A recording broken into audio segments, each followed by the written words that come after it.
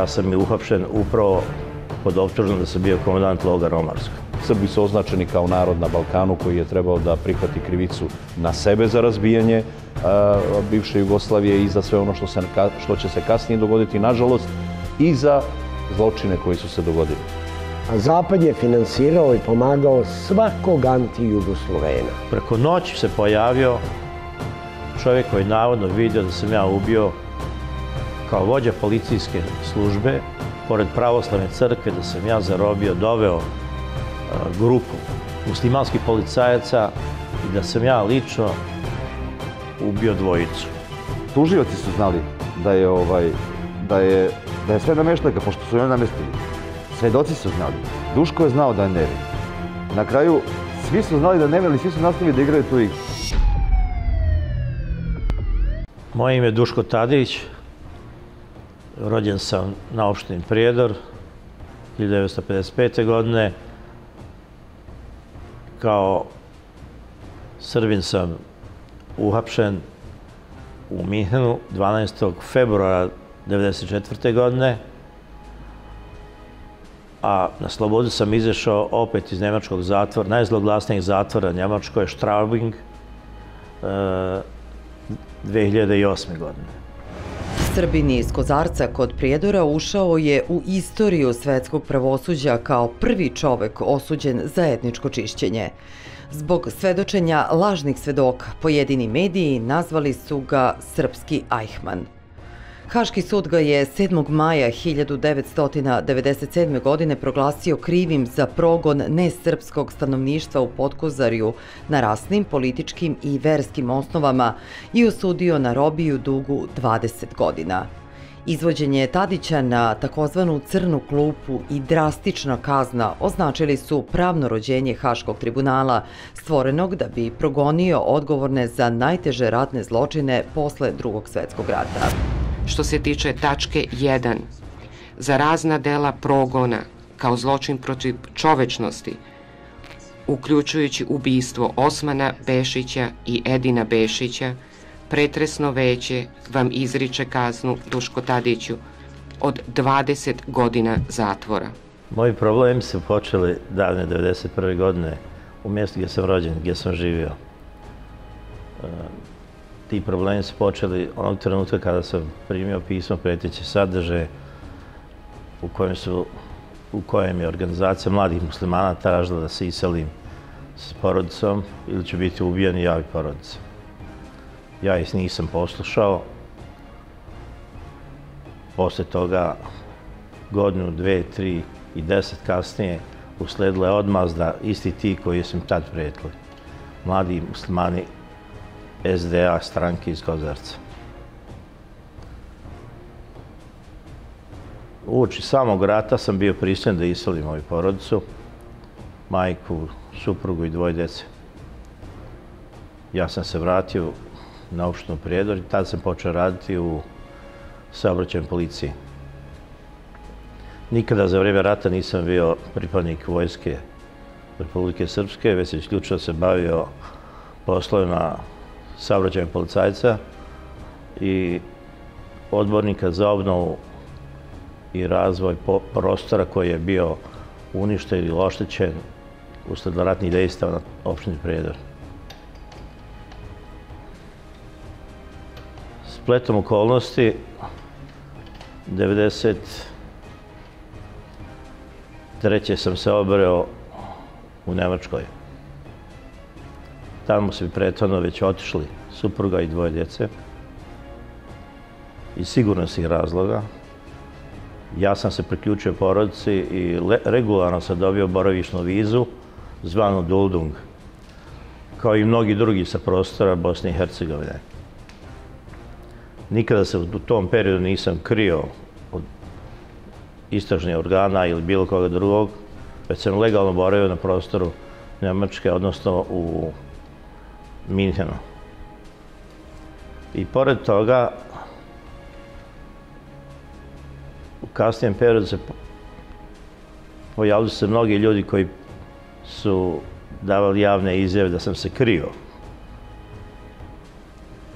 Nije bilo nikakve logike da se krijem na prostoru Njemačke, odakle odakle su stizale najgore poruke vezano za kampanju koja je vođena protiv srpskog naroda.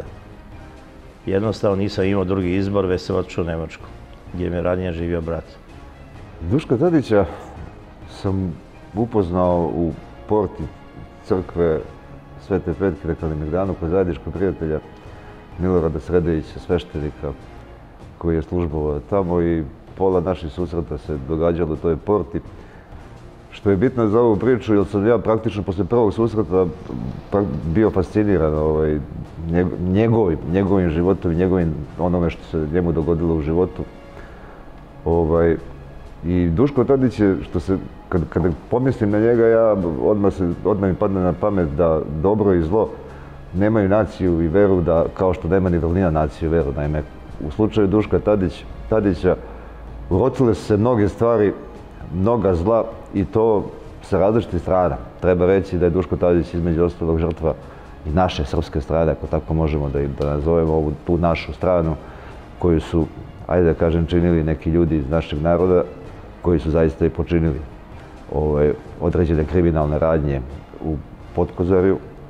S druge strane, on je žrtva bio i svojih komšija, muslimana, bošnjaka, koji su se opet sticaju ratnih okolnosti našli uglavnom u, u zapadnoj Europi, u Nemačkoj, koji su brutalno i bestidno lagali o njegovom, njegovoj ulozi u, u, u tim ratnim sukobima. S treće strane, ponovo, taj Duško Tadić je žrtva jednog istorijskog trenutka, jednog istorijskog perioda kada Nemcima očajnički treba neki zločinac da operu sebe pre svega i to sebe za ono što su radili nama u dva rata.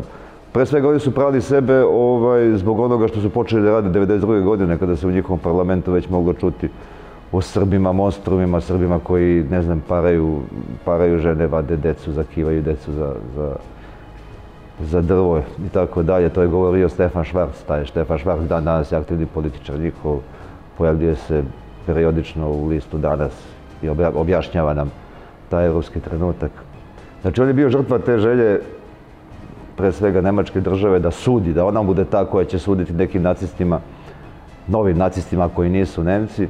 I Dule tada, tamo je poneo ime Kasapin, srpski Kasapin.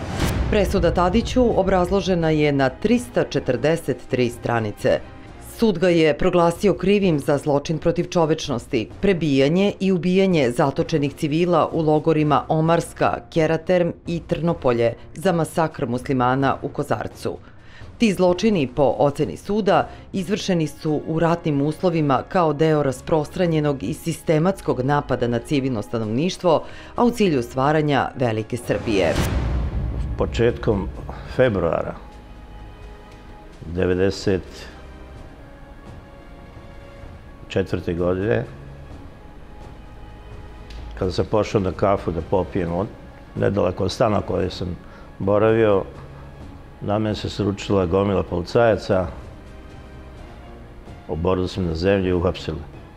Ja sam prvi trenutak im pomislio da se radi o islamistima koji su pre toga nekoliko mjeseci vodili kampanju u kojem su mene označili kao glavnog krivca za događaj koji se dešava na opštini Prijedor. Odnosno, i pored činjenice da nisam bio pripadnik vojske, Onda sam označio da sam bio komandant logora Omarska, Keraterm i Trnopolje. Pozadna takvog odnosa prema meni verovatno leži u činjenici da su moji sugrađani sa prostora Kozarca u prošlosti uglavnom bili familijalno vezani za pripadnike nacističkih pokreta, nacističkog pokreta za vreme drugog svjetskog rata. Moj otac i moja porodica su bili antifašisti, otac poznati borac, pratioc legendarnog Mladena Stojanovića, koji je digao ustanak u Podkozarju. Majka prošla kroz logor Jasenovac i uspela izvući živu glavu. Očilo da, nije, da nekome nije odgovaralo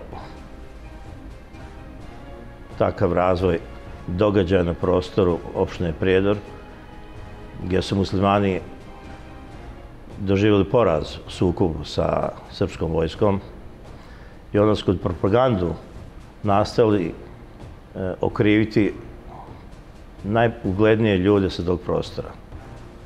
Moramo da shvatimo da je postao jedan svetski rat. Svetski rat između socijalističkih zemalja i zapadnih kapitalističkih zemalja. Zapad je rešio da zatvori svaku socijalističku zemlju na planeti. Spremali su se ozbiljno za taj rat i bili su spremni, ja mislim da su bili spremni da baca atomsku bombu, ako to bude potrebno. Međutim, Sovjetski savez se raspao tako brzo da to niko nije očekivao. Pa čak i Kina je promenila svoj kurs ka, ka zapadnom tom nekom stilu života. A Jugoslavija, Čekoslovačka, Poljska, Rumunija, Bugarska, sve su one promenile svoj kurs. Jugoslavija je ostala poslednja. A Zapad je finansirao i pomagao svakog anti-Jugoslovena. Srbi su bili najveći Jugosloveni, to nema, nema dileme. I ja sam bio jedan od njih. Ja sam rođen u Jugoslaviji, to je bila moja zemlja. Mene na polju, dok sam živao u dijaspori, kad me neko pitao šta si po nacionalnosti, ja sam rekao Jugosloven. Čak sam govorio da pričam jugoslovenski. A, tako smo vas pitavani. Ja sam beograđanin. A, imao sam prijatelja iz datinstva koji se zove, verovatno i dalje, zvao se sigurno tada Abdula. Ja uopšte nisam znao da je on musliman. Niko mi to nikad nije rekao, niti sam ja znao da je Abdula muslimansko ime. Tek sam kasnije ovaj, saznao o tome. Ja nisam čuo za reč krajina. Ja sam, ja često puta pri, prepričavam tu priču, ja sam saznao tek 1991. godine. Nakon što su krenuli ti protesti, nakon, ja sam prvo čuo za Knin, za Milana Martića, za barikade, pa tek onda za reč krajina. I sve vreme sam mislio da se to priča o Ukrajini. Suđenje Dušku Tadiću imalo je planetarni publicitet. Mediji na zapadu su se utrkivali u otkrivanju zlodela Ajhmana iz Kozarca. Tadićeva slika nije silazila sa stranica listova i TV ekrana. Vez da je on osuđen za CNN bila je vest godine. Emitovana je na svakih 10 minuta – od trenutka kada je uhapšen u Nemačkoj 12. februara 1994. godine pa do puštanja na slobodu 18. jula 2008. Tadić je iza rešetaka proveo 14 godina, 4 meseca i 6 dana. Nakon e, sukova na prostoru opštine Prijedor, stvoreni su logori Omarska, Keratern i Savirin centar Trnopolje. Godinama kasnije ja sam i uhapšen upravo pod optužnom da sam bio komandant logara Omarska. Iako se znalo da je regularni komandant logora bio Željko Mejakić, koji je kasnije i osuđen za taj, da ulogu takvog, tako koji je dobio. On su mene intenzivno optuživali u medijima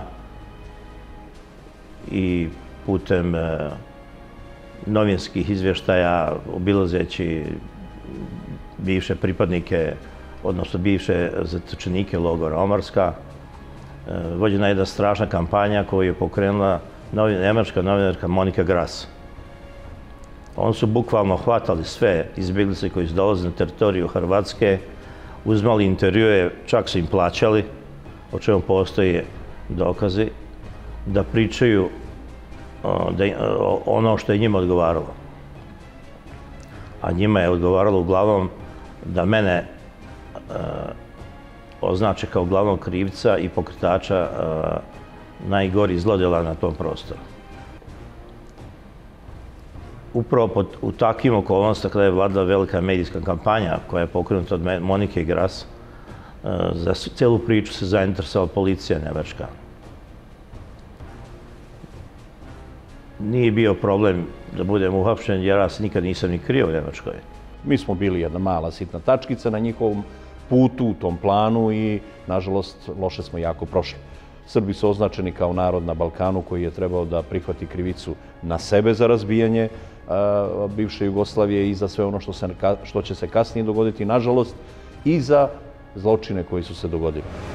Hapšenjem i odvođenjem u zatvoru Nemačku može se reći kreće pravi pakao. Uvek upaljeno svetlo, svakodnevno maltretiranje. Pre hapšenja i odvođenja u Nemačku Tadića su danima pratili. Tada sam uhapšen, onda smo odveli u centralni zatvor u Minhenu. Pročitao mi je optužnicu koja je uglavnom ličila, e, koja je bila puna i prepuna raznih zlodela, e, zločina, opisa krvoloči nekih, e, koje ni u sto ne bi čovjek mogao zamisliti. U stvari, najveći dio optužbe od navodnih očevidaca je bio vrlo sličan događajem koji se dešavali u logoru Jasenovac po opisu koji sam učio naravno iz škole, mogao sam prepoznati upravo dela koja se činili e, muslimani, pripadnici Hanđar divizije, Ustaše prema srpskom narodu. Oni se svu tu priču e, na jedan nekorektan način pripisivali meni i drugim Srbima sa prostora opštine Predar. Bio sam šokiran takim odnosom, ali Istovremeno i sam uveren da ću vrlo brzo dokazati moj nenos, jer nikada nisam u životu kročio mojom nogom na prostor kompleksa logora Omarska, koji je u principu bio jedan centar rudnički, gdje su preko nekoliko hiljada ljudi radilo. Ja nisam nikada imao ni jednu potrebu da idem tamo i da boravim ni pre rata, ni za rata, ni posle rata. Pa, nažalost, nakon svih tih nesrećnih događanja na teritoriji bivše Jugoslavije i planiranog razbijanja bivše Jugoslavije kroz izazivanje malih sukoba od strane jednog dela međunarodne zajednice, kao jedna vrsta konvalidacije silom postignuto stanja na terenu je došlo do formiranja početka rada Međunarodnog krivičnog suda za bivšu Jugoslaviju ili ti ICTI. On je pod potpunom kontrolom bio oni koji su ga osnovali, to jest dela NATO-a, kao jednog, jedna vrsta njegovog disciplinskog organa, odnosno onog dela američke duboke države koja je podržavala demokratsku administraciju, odnosno takav globalistički plan za vladavanje svetom. On se me nakon nekoliko dana prebacio helikopterom e, iz jedne vojne baze u Minhenu, u Karlsruhe. Karlsruhe predstavlja jedan najveći e, istražni centar u Nemačkoj. Pokušali su me ispitivati bez e, prisustva advokata i to smo prekinuli. Ja sam posle toga boravio u neposrednoj blizini u zatvoru Karlsruhe. To je bio početak jednog teškog maltretiranja, jedne teške, e, težak izazov koji me čekao u narednih 15 godina. Tamo sam proveo preko tri meseca nisam mogao spavati, jer u principu on, nikad nisu gasli svetlo. Vrlo često se dešavalo da od iscrpljenosti zatvorim oči, onda sam se budio ponovo, ne znajući da li je to san ili da, da li sam uopšte spavao ili sam bio budan. Faktički i tad sam preživljavao maštajući, razmišljajući kako sam vani. Sjećao sam se svi onih lepih trenutak koje sam proveo sa mojim prijateljima koji su bili uglavnom muslimanske nacionalnosti i očekivao sam da će mi jednog dana se neko od njih javiti i ispričati da je u pitanju greška. Međutim, to se nikad nije desilo. I oni najbliži prijatelji s koji sam odrastao, čutali su u narednih 15 godina. Da li je to strah ili nešto drugo, ja ne mogu, nisam nikad mogao saznati. Međutim, samo me tešlo što ti isti ljudi nisu nikad svedočili protiv mene. Ostali koji su žili na tom prostoru, on se nadmetali u isticanju najbrutalnijih izmišljanju, najbrutalnijih uh, zločina koji su meni pripisivali kao ta, takozvanom komandantu logora Omarska. Te stvari o kojima sam sad rekao, pročitala mi je prevoditeljka u prvom susretu u Minhenu.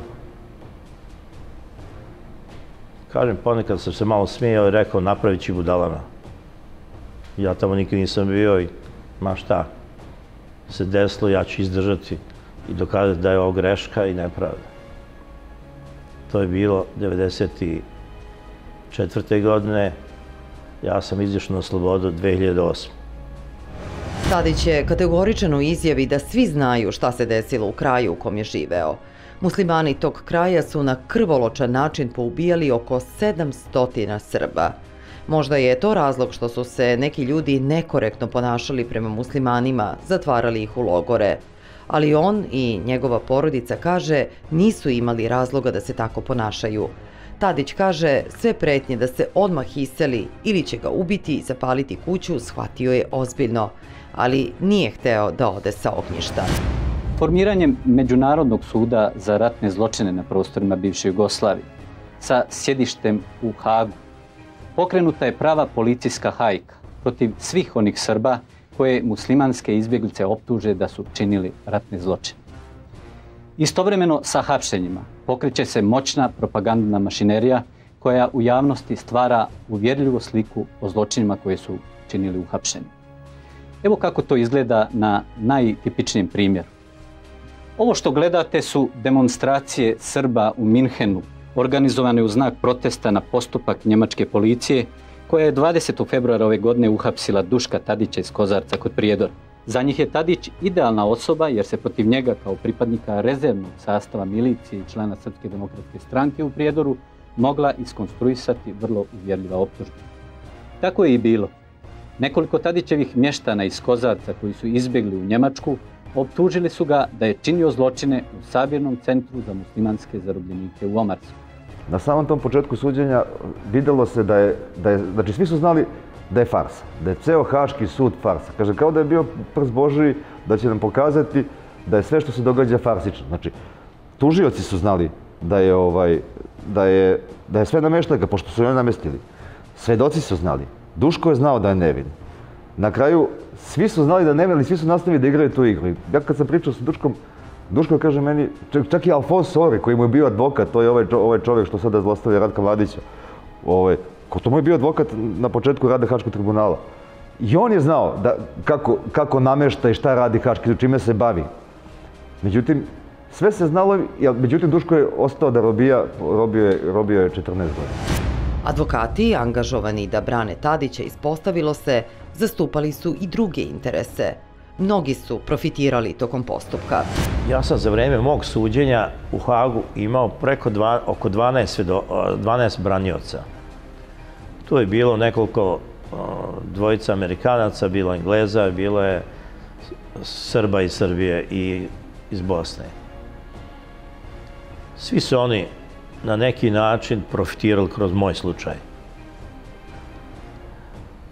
Zaradili su ogromne svote navodno me braneći.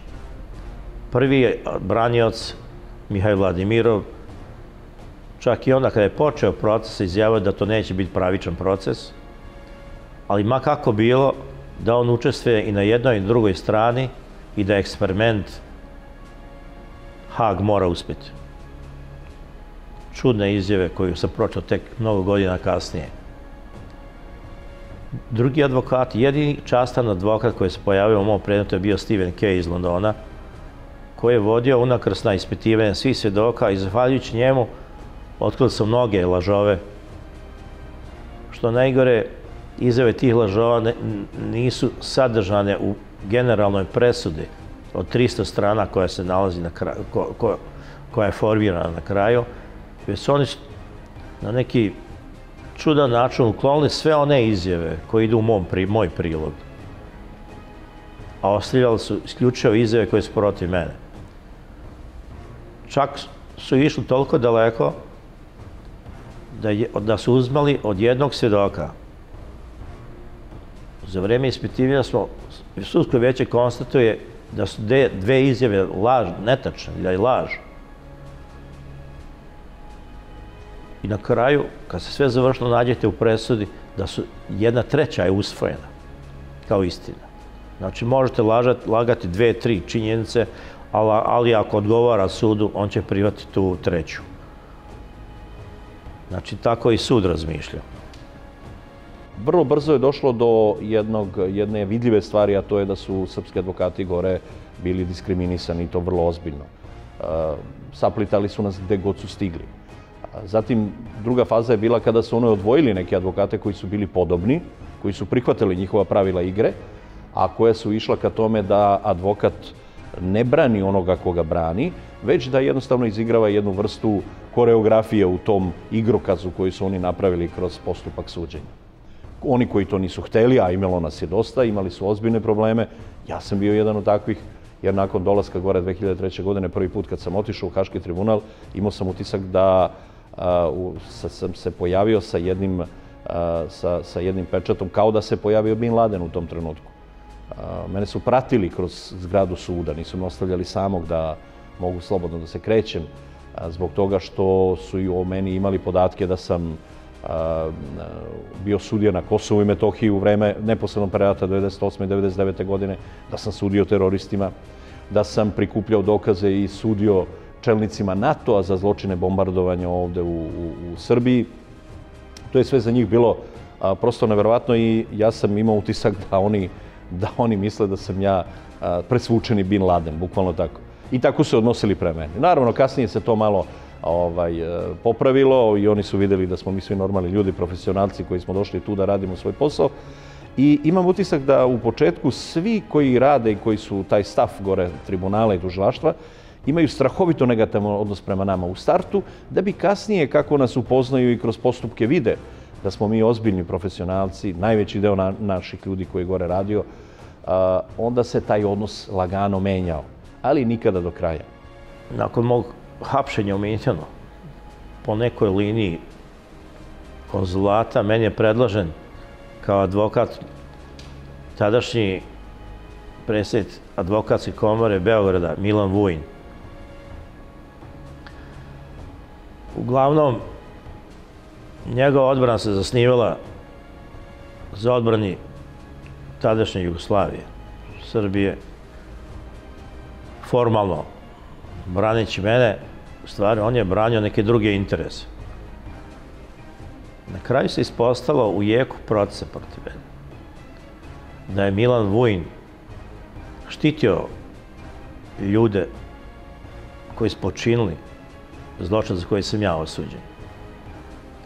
Nije ovo moja proizvoljna tvrdnja, već e, činjenica da je 99. godine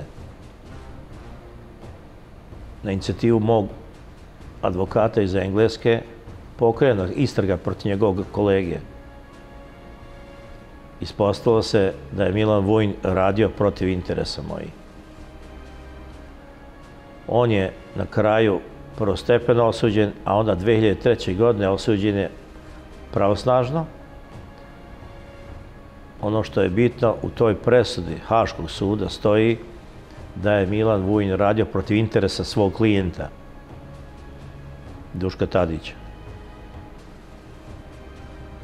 Što je još gore, piše da je prikrivao potencijalne izvršioce zločina za koje sam ja osuđen. I što je još gore, što sud sebe tu opet nekako ograđuje od mogućeg pozitivnog epiloga ishoda mog procesa, oni tvrde da se sud nije bavio visinom štete koja je meni nanešena ili nije nanešena, jer to niko nije im tražio. Jer bi to zahtjelo znatnu istragu. Koji je absurd? A gdje je pravda? U čije je ime? Sud je mogao sam pokrenuti istragu, pa da proveri tačno svega toga i da li je nanesena neka šteta ili ne.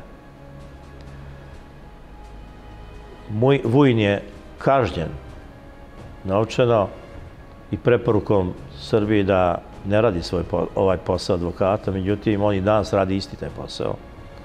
Svi se oglušilo to. Tačno je da ga ne vidim više u medijima. Međutim, žalostno i sravno da tog čovjeka niko nije prozvao na klupu srama zbog ono što je činio. Raditi protiv svog klijenta koji je sam, koji računa je na jedinu pomoć, a to je advokat. Što najgore, ti ljudi koje je on branio, za koje je mislio da je brani, svi do jednog su osuđeni kasnije od suda u Sarajevu. Ko je dobio u svemu tome? Samo neprijatelj srpskog naroda. Izricanje presude bilo je sasvim sigurno veliki šok, ne samo za Tadića, nego i čitav srpski narod. Dve decenije iza brave za nešto što sasvim sigurno niste uradili, više je nego kazna. I tu postoji nekoliko uh, kontroverzi. Potrebno je reći prije svega onaj minimalni opis kako je sud radio. Sudsko veće je prvo mjesecima raspravljalo o načinu suđenja. Da li će suditi na osnovu anglosaksonskog prava ili će suditi rimskim pravom. Na kraju krajeva došlo se do najgore solucije da će suditi i po jednom i po drugom kako njima odgovara. Jer se nisi niko mogao dogovoriti. Ali to je bilo uvijek na štetu optuženog. Ako dokarate svoju nevinost E, po jednom pravu, možete biti krivi po drugom. Odnosno, anglosaksonskom zato pravo je karakteristično, karakteristični su presedani. Tamo je, tamo je dokaz tužilaštva bilo novinski članak koji neko treba da samo potvrdi i opiše da je objavljen negde i tretirani kao svedočenje iz druge ili treće ruke, ali svedočenje. Ili recimo, e, dođe vam svedok, kaže, ja sam čuo da se nešto desilo tu, a onda e, sud kaže da, da, mi ćemo proceniti, da ćemo mi određenu težinu tom svjedočenju. Nakon početka tog rada gore suda pojavila se potreba da se naši advokati angažuju u radu tog suda i to je bila, tu bio jedan veliki problem zbog toga što je taj sud bio formiran i postupao i radio e, na jednom principu, odnosno u jednom pravnom poredku koji nije bio ni evropski pravni poredak, dakle kontinentalni, onakav kakav, iz kakvog smo mi potekli našim obrazovanjem, učenjem, znanjem i radom, niti pak čisto anglosaksonski, nego nekakva mešavina koja je napravljena jedan miks ta dva sistema koji je, od kojih je otprilike 80% instituta bilo anglosaksonskih, a jedno 20% instituta u tom pravnom sistemu je, u kome je funkcionisao ovaj Haški tribunal, bilo evro, iz evropskog prava. Prvi problem je bio da se mi, koji smo školovani i razmišljali, učili da razmišljamo i radili eh, i obrazovali se na, na, na, na eh, kontinentalnom pravu, se prilagodimo tim anglosaksonskim elementima i anglosaksonskom načinu razmišljenja kroz postupak. Što se tiče e, samog izricanja presude, i ona je imala svoju karakterističnu neku ovaj, karakterističan način. Pre svega zbog toga što sam ja doživio tri izricanje presude. Mnogi ne znaju da sam ja prvo osuđen na 20 godina, a onda se moja odbrana žalila i tužila sam se žalila na tu presudu. E, posle toga žalbeno veće donio odluku, odnosno sudsko veće donio odluku da sam kriv, prihvatilo je tu, žalbu tužilaštva, ja sam tada osuđen 25 godina. Mi smo se ponovo žali, pa je vraćena kazna na 20 godina. Tako da oni nisu dozvolili nikako iznenađenje po pitanju tog da li ću ja e, ostati ovaj, zatvor kao osuđeno lice i krize ono što smo optužili ili ne takav stav su pre svega zauzeli zbog toga što sam ja kao prvi koji je tamo došao, na mojim leđima su oni stvarali sistem rada suda, proceduru žalbe, a u stvari tu je bilo radilo 12, advok 12 sudija. On se samo mijenjali. Su, uh, žalbeno veće iz jednog slučaja je prvostepeno u drugom slučaju i obrnuto. Uči samog izricanja te prve presude protiv mene, E, ja sam saznao istog dana da, su, da, je, tu, da je sudsko veće Tročano sedelo sa predstavnicima tužilaštva, što je apsolutno zabranjeno. No ko? Ko je mogao nešto učiniti? Niko. Pa sjetite se samo jednog trenutka kolika je ta naša, ta naša ne, neverovatna potreba za samoporicanje. Koliko su nas uveli u taj, taj model samoporicanja. Da mi sami počnemo da verujemo da smo mi krivi. Neverovatna stvar. Milošević se brani u Hagu. Dostavljaju mi se dokumenti koji god mogu i sam sam učestvovao u tome, iako nisam bio u njegovoj odbrani. Dostavlja se sve što može da se dostavi, što bi moglo da koristi. I on tamo razbija, razbija procesno u jednom ispitivanju Rugovu, pa nekoliko ovih Albanaca i tako dalje. I odjednom panika u našoj javnosti ovde u sred Srbije. Ko to njemu dostavlja, kaže dokument? Zamislite taj stepen samo šizofrenije. Neverovatna stvar, neverovatna stvar šta smo mi sebi dozvolili. Da mi u tom trenutku je stvorena medijska jedna jedan linč prema Miloševiću. Vidim, neki se i danas pojavljuju, imaju tu frustraciju Miloševića i danas. A to su uglavnom oni koji nemaju nikakve ideje, koji su promašili svojim idejama ovih zadnjih 20 godina i onda na kraju kreva šta god kažu, aha, Milošević. Ko je kriv? A, Milošević. Pa ne može 30 godina ovaj, posle svega toga da bude kriv Milošević. Šta ste vi uradili u tome?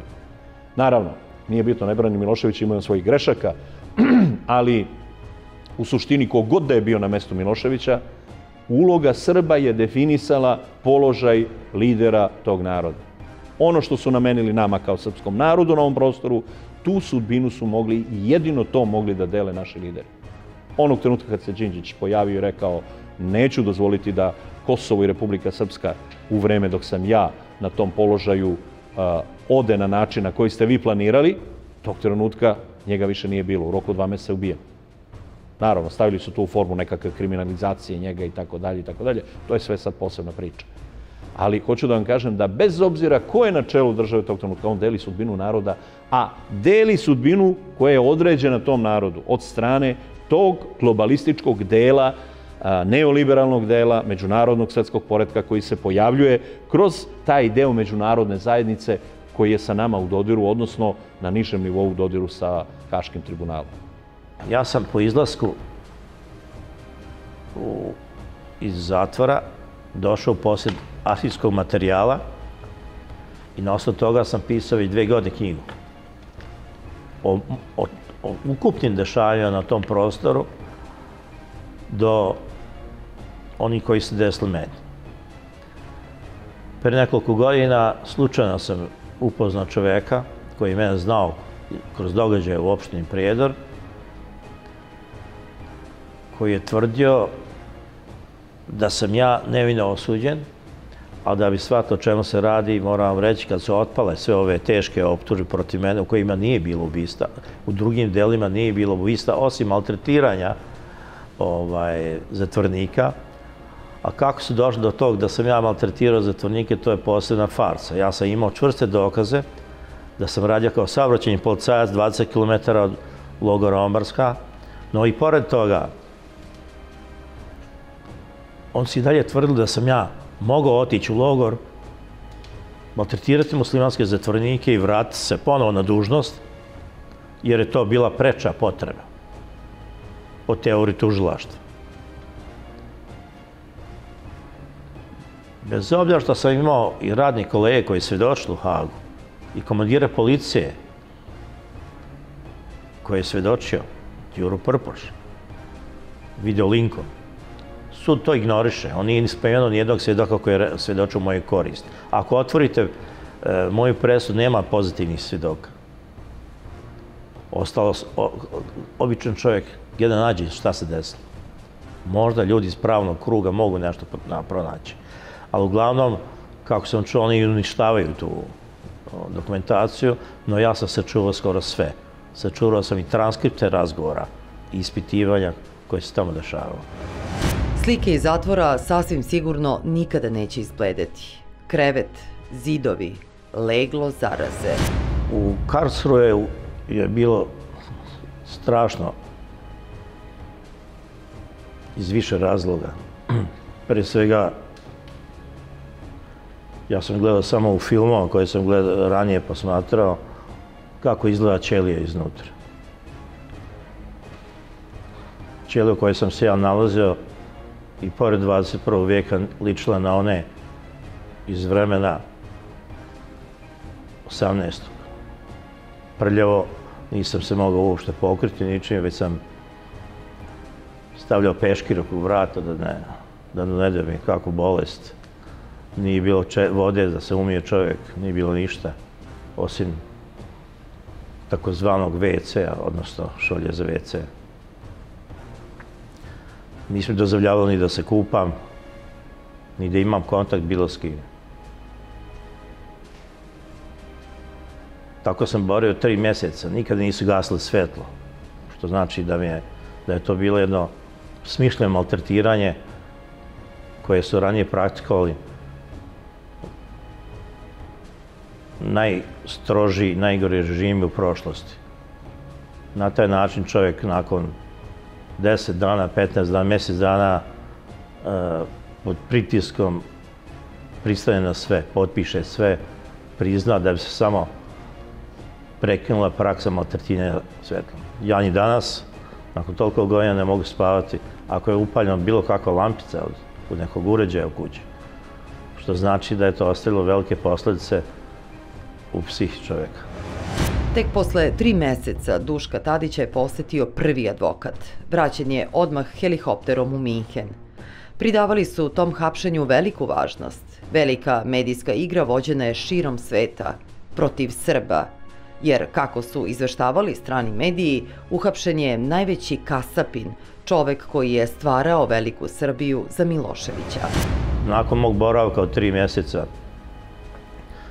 u zatvoru Karlsruhe posjetio me prvi advokat Stefan Ufer i na njegov predlog on se me vratili helikopterom ponovo u Minhen.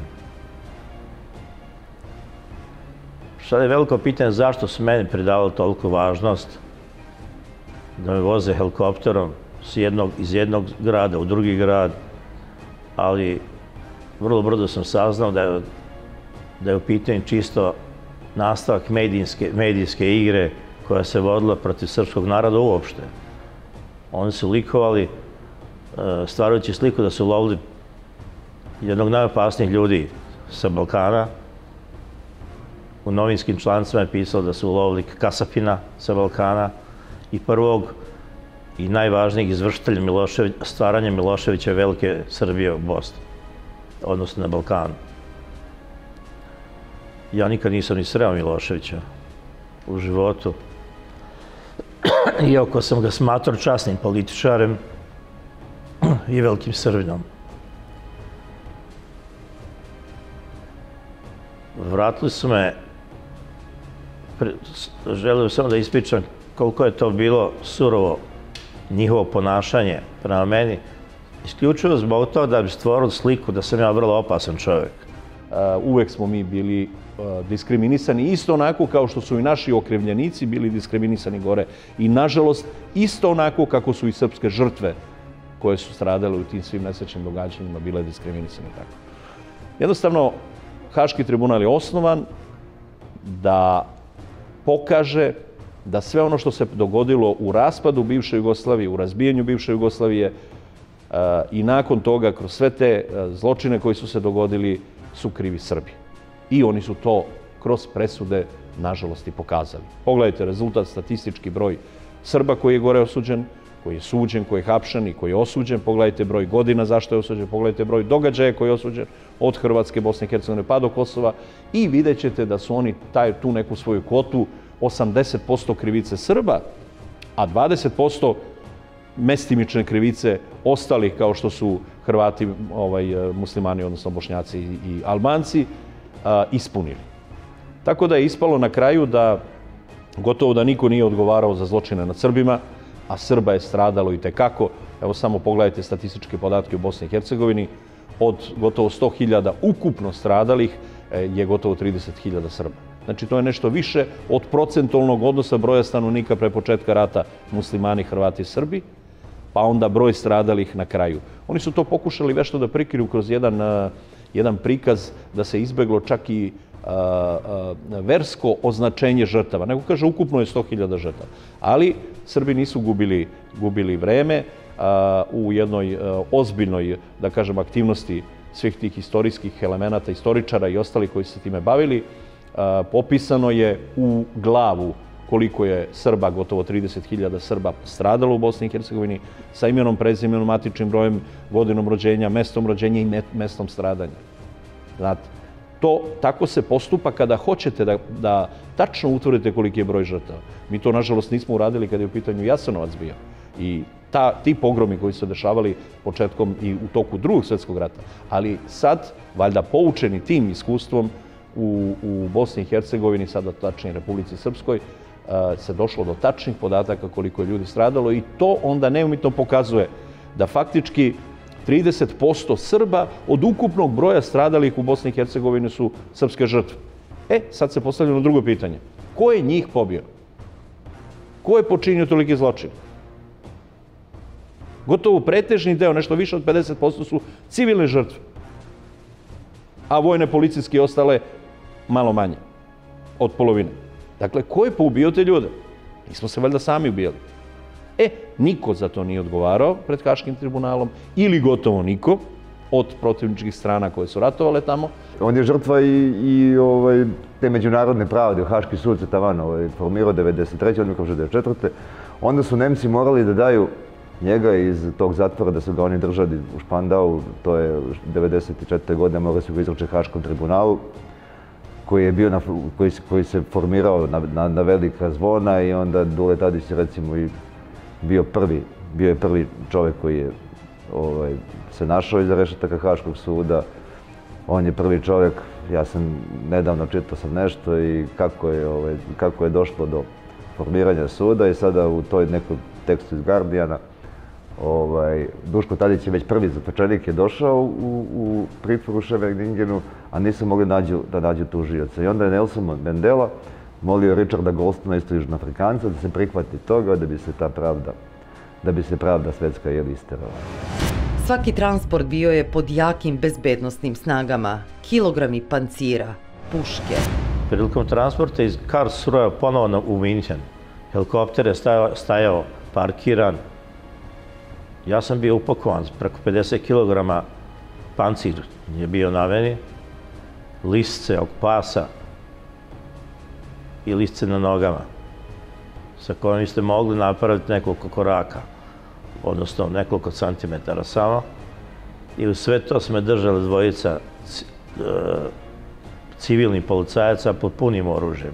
Pored helikoptera zastajala dvojica uniformisanih policajaca sa puškama u ruci. Jedan od ovih me upozorio, ako pokušam pobeći, da će biti ubijen.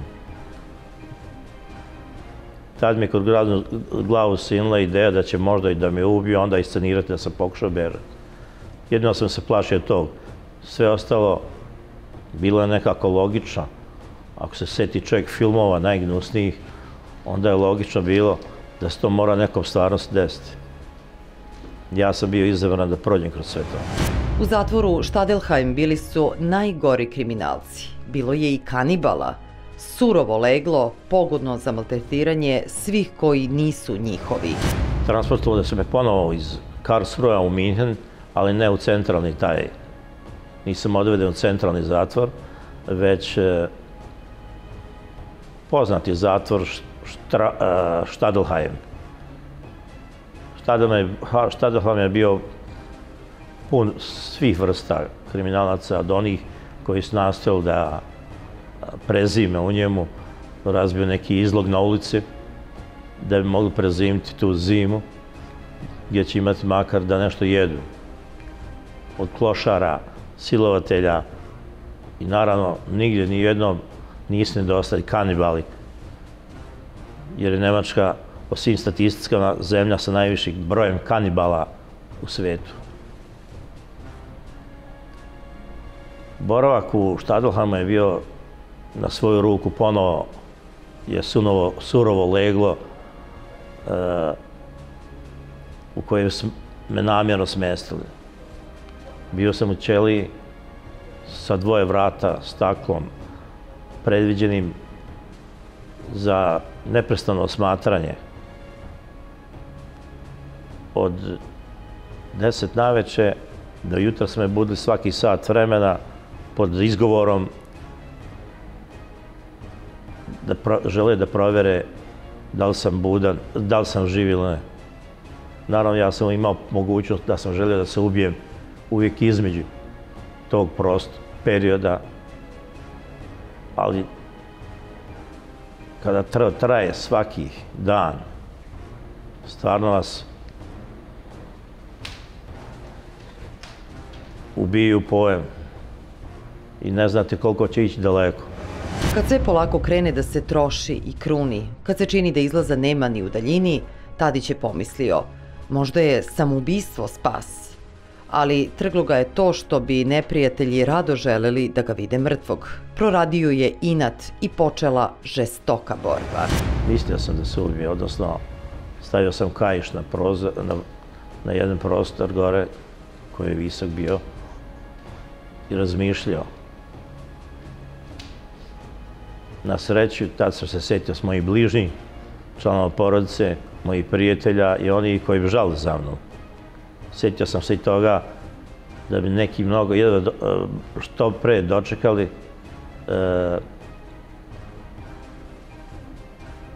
da me vide mrtvog i to bi ja sam sigurno da sam se zbog savjesti ubio.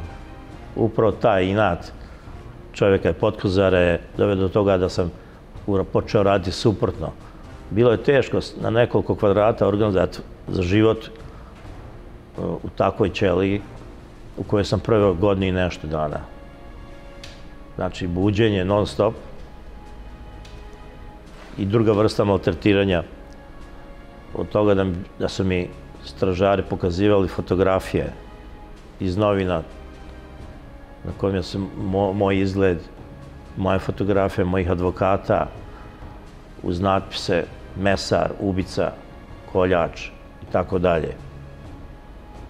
Sve je to bolulo dosta. I teško čovjek podnose tako maltretiranje. Evo ja se sećam pokojnog Babića, koga su toliko pritiskali od tužilaštva da svedoči protiv Srba. I on je u, jednom, u jednoj fazi i prihvatio do određene mere da svedoči, računajući da će na taj način da dobije određene privilegije. I moguće da ih je i dobio. Međutim, kada su, jer to je, kad sklopite pak sa džavolom, tu kraja nema. Tu više kraja nema. Ušli ste u tu priču i tu nema. Može da bude samo vaš kraj. A kraja priče ne postoji. On dosta, dolazi samo onog momenta kad bude vaš kraj. I to je Babić ishvatio. I on se obesio Ja sam ga tog dana video, kad se vratio iz šetnje, razgovarao sam sa pokojnim Slobodanom Miloševićem u hodniku, bio sam u posjeti Šljivančinu, razgovarao sam sa pokojnim ovaj, tada, bivšim predsjednikom, Slobodanom Miloševićem u hodniku, smo razgovarali, stajali. On je došao iz šetnje, pognute glave, prošao pored nas, nije ni se ne pozdravio. I ja sam pitao ovaj, gospodina Miloševića, sam rekao šta se dešao s Babićem, šta je ovo? A on kaže, toliko je, toliko je utučen od ovoga što moji tužioci rade, da je to prosto neverovatno i ja se bojim za njega. Bukvalno je tako rekao.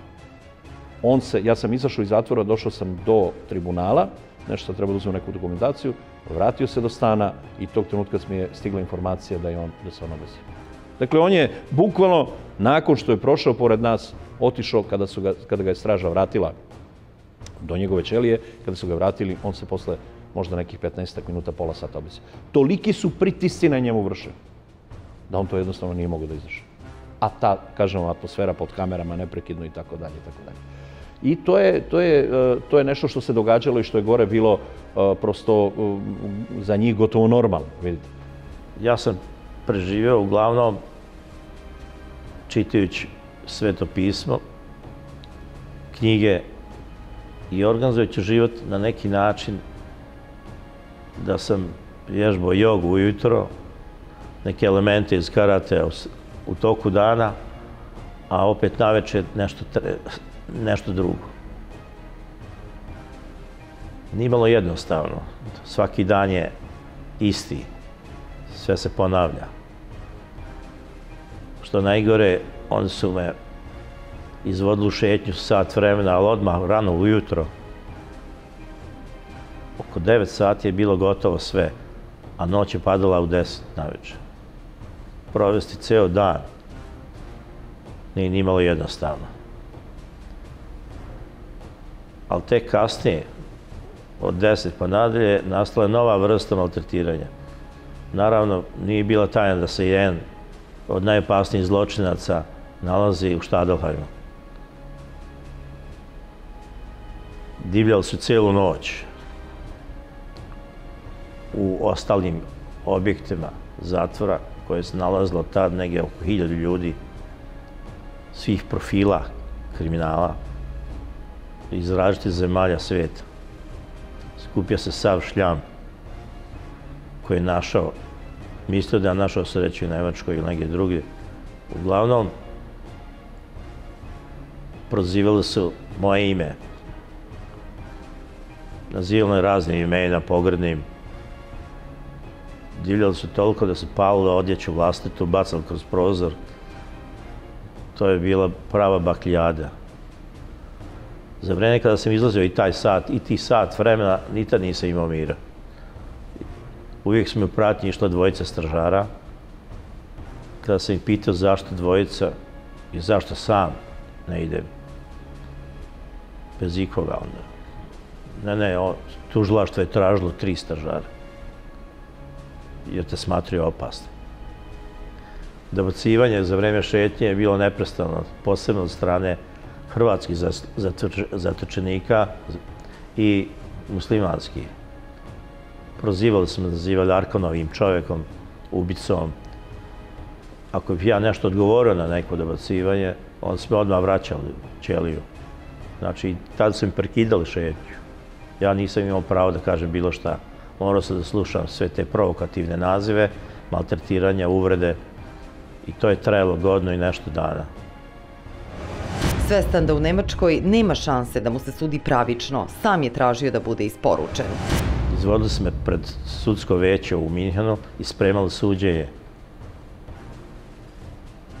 Video sam pod takvom vrstom medijske kampanje i pritiskom koji su, koji su mediji vršili na sud, ja sam shvatio da tu neće nikad imati pravičan proces.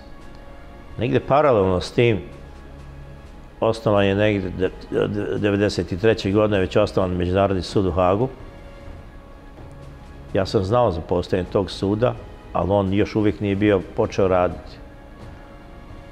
Možete zamisliti koliko je to bila velika propaganda kada se sud iz Haga spontano zainteresovao za takvog zločinca. Uz sve to, ja sam počeo da pišem na adresu Haškog suda. Tražio sam sam da budem isporučen, jer nije bilo šanse da imam pravičan proces u, u Nemačkoj. To je trajalo dugo. Neka pisma nikada nisu otišla. Jednostavno vraćamo se nakon 7 dana. Vi iščekujete odgovor, a on dobra, ono se vrati vlastito pismo. To je trajalo, kažem, dugo. Ali u jednom trenutku me posjetio holandski advokat Vladimirov, čiji je otac poreklom Rus. Razgovarali smo dugo i on mi je rekao da postoji šansa da budem stvarno isporučen u e, Holandiju. Bilo je više prepreka zbog kojih je to trajalo tako jako dugo. I onda kada je holandski sud, Haški sud, odlučio da da preoze moj slučaj. Njemačko tužilo što je pravda smetnja. Tužila se opira o tome jer je smatrao da je moj slučaj samim hapšenjem u Njemačkoj po takvim medijskim kampanjom uh, malte završen. Oni su paralelno s tim postupkom mog prebacivanja u Holandiju uh, radili na pripremi mog izvođenja pred tamošnji sud u Minhenu dobio sam već spiskove svjedoka protiv mene. Ja sam imao formalno advokata, važio kao jedan od najboljih advokata u Nemačkoj. Međutim, zbog ratnije okolnosti koje su radile u to vreme na prostoru Bosne i Hercegovine, gdje se upravo desili ti događaj za koje sam ja bio optužen. Niko od istražnih organa nije mogao, ali nije ni hteo da ovdje da proveri tačnost tih podataka. Fački, ja nisam imao priliku da dobijem bilo kojeg svedoka. Ali na spisku protiv mene sam već tad vidio preko 100 svedoka. U te mere je taj ne, na, ta ne, neprincipijelnost i ta diskriminacija bila prisutna da se ona osjećala na svakom koraku. Na svakom koraku se osjećala. Za razliku recimo od drugih koji su imali a, i povlašćen položaj, a, imali su dostupnost dokumentima, tužilaštvo imalo drugačiji odnos prema njima, ali nas prikriva dokumenta, što je protivno odredbama pravilnika o postupku i dokazima, a njima ne da daje dokumente koje je obavezno da im daje, nego im pomaže u svakom pogledu. Tako da to se videlo u startu. Naši pritvorenici su također diskriminisani gore. Bili su u jako lošem položaju. Znate? Sve što je moglo da im se onemogući, to im se onemogućavalo od telefonskih kontakata, od poseta, od e, vrsta provere ljudi koji treba da dođu da ih obiđu i tako dalje. Od načina na koji se njima pomagalo finansiranjem te, te, tog njihovog boravka gore, jer im su jako skupi ti telefonski razgovori, skupa je hrana i tako dalje. Sve to zajedno je jako bilo loše i iz svakog od tih segmenta je izbijala jedna ozbiljna diskriminacija i dupli standardi kada su u pitanju Srbiji i kada su u pitanju drugi. To nema nikakve dileme, to nije nikakva, da kažem, kalimero priča, kako bi da bih rekao da, da svet razume, to je bila istina. I dan danas se to osjeća. To se i danas vidi. Srpske žrtve su diskriminisane i, nažalost, iz svega toga šalje se jedna veoma teška, teška gotovo morbidna poruka sa kojom mi treba da uđemo sada u ove periode nekakvih pritisaka, možda i nestabilnosti na ovom prostoru, a to je Srbe ubijati nije kažnjivo. Srbe ubijati to nije kažnjivo. To je poruka tog dela globalističke međunarodne zajednice povodom svega onoga što su oni ovde napravili, a onda preturili na nas. Optužbe koje su se ređale bile su jezive. Pominjali su decu koja su navodno bacana u vazduh, a on ih je dočekivao na nož. Pričali su o silovanjima. Tadiću se činilo kao da pričaju o svemu što je rađeno našem narodu u Jasenovcu. Te optužbe tamo su bile strašne. Bilo je opisa da je jedan Srbin bacao djete u vazduh, da sam drugog, da sam ga ja dočekivao na nož. Da, sam, da je moj vozač, navodni moj vozač, prelazio detetu automobilom preko glave. Scene silovanja, scene nezamislive. Upravo te scene koje smo gledali u dokumentarnim filmovima o onome što se dešavalo na stratištima u toku drugog svjetskog rata. Jasenovac, Gradiška, zajednice kod Kozarca i Prijedor samo. Oni mogu da rade šta god hoće. Niko vas neće uzeti u odbranu. Kao što mene niko u Hrvatskoj nije uzao odbranu, osim naravno advokata koji to rade po, po, po svojoj dužnosti, ali ne, ne imam puno Hrvata, puno Hrvata. Evo i u zatvoru, svaki onaj zatvorenik mi je prišao i rekao, kapetan, meni je jasno, meni je sve jasno zašto ste vi ovde i, i da ste vi častan čovek. Evo imamo, mi znamo priče, priče i i zarobljenici koji su bili da, da ono što ona lažo pričao ne može biti istina. Na kraju krajeva, mene su optužili, u stvari optužio me i jedan čovek da sam ja njemu udario šamar. To niko živ nije potvrdio, znači nema svedoka. Nekad u komunizmu je, trebalo vam je dva svedoka, kaže nađi dva svedoka i ti ga optužiš. U Hrvatskoj danas nije potrebno svedoka. Dovoljno je samo jedan lažov koji će da vas optuži. U Hag je Tadić transportovan helikopterom. Pre toga su ga deset dana psihijatri procenjivali. Cilj je bio da se utvrdi da je mentalno poremećen kako bi mu se mogla prepisati sva nedela koje su nabrajali u optužnici. Napokon dobio sam vijest da je sud odlučio da me privati tamo. Njemačka je morala da promeni zakon koji je vladao još iz vremena Adolfa Hitlera. Promenili su zakon koji mogu da isporuče uh, uhapšenike u druge države. I onda se ponovo transportovali helikopterom da bi ostali dalje u elementu. Vrsto se to na najviši način. U međuvremenu, pre toga su, u stvari pre toga su me uh, vodili na jedno psihijatrijsko vještačenje. Na predlog advokata Ufera ja sam prihvatio da idem na, na to vještačenje u GT institutu, poznatom institutu te vrste. Vodili se me negdje oko deset dana. Nisam znao da će to biti tako teško i surovo, inače ne bi ti pristao. Advokat mi je pre toga objasnio da je cilj tih pregleda bio da dokažu da sam ja mentalno poremećena ličnost, pa zločin koji se opisuju u optužnici protiv mene se smatruju za normalnim e, činom takvog vrste čoveka, takve vrste čoveka. Ekspert koji, se, koji, koji je vršio ekspertizu, nedopil je poreklom jevra i ja sam imao uverenje da će pošteno raditi svoj posao, vodili su me tamo svaki dan, ujutro imao sam ponovo na sebi teški pancir, listce na nogama i rukama. A što je najgore, prilikom svakog dolaska ispred zgrade i ulaska u zgradu, ja sam se morao pentrati od stepence. Iako je pored bio lift to im je pričinjalo zadovoljstvo da vide kako se mučim, jer nisam mogao napraviti valjano ni jedan korak. Silazak niz te stepence bio još gori. To je trebalo dva, tri dana, ja sam onda počeo da protesti, jer jednostavno držalo sam i za vreme e, razgovora sa psihijatrom ulisičenog. Posle toga su mi skinuli listce i s nogu i sa ruku, ja sam normalno mogao razgovarati. Taj pregled je trajao preko oko 10 dana negde. Nisam nikad učestvao u takvoj vrsti pregleda. Vođen razgovor s njim od malo, e, onome šta se dešavalo od malo, mal, e, od mog detinjstva pa do posljednjih dana boravka na slobodi.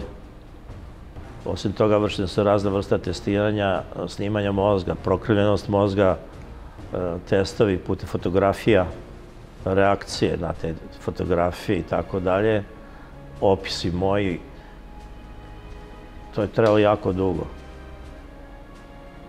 Zašto ovo spominjem? Spominjem zbog toga što njima bio cilj da dokažu da sam poremeća ličnost, a imao sam, lično sam prihvatio to da dokaže nešto suprotno. Imao sam postale samo dve krajnosti, nešto između nije bilo. Godinama kasnije, kada je počelo moje suđenje, isti ekspert se pojavio u svojstvo eksperta. E, predstavnika suda, faktički. Znači, znači, nije on pripadao ni tužilaštvo, ni odbarne, već neutralan. Ekspertiza koju je on napravio je bila preko 200 stranica. Ali je sve to moralo proći kroz objašnjenje pred sudskim većem. Interesantno je to da me smatrao normalnom osobom, čak i na ovaj nadprosječno inteligentnim i da jedina zamjerka na sve to može biti što pripadam srpskom narodu. Da je to jedina potencijalna mogućnost da sam počinio nešto zločina zbog pripadnosti srpskom narodu.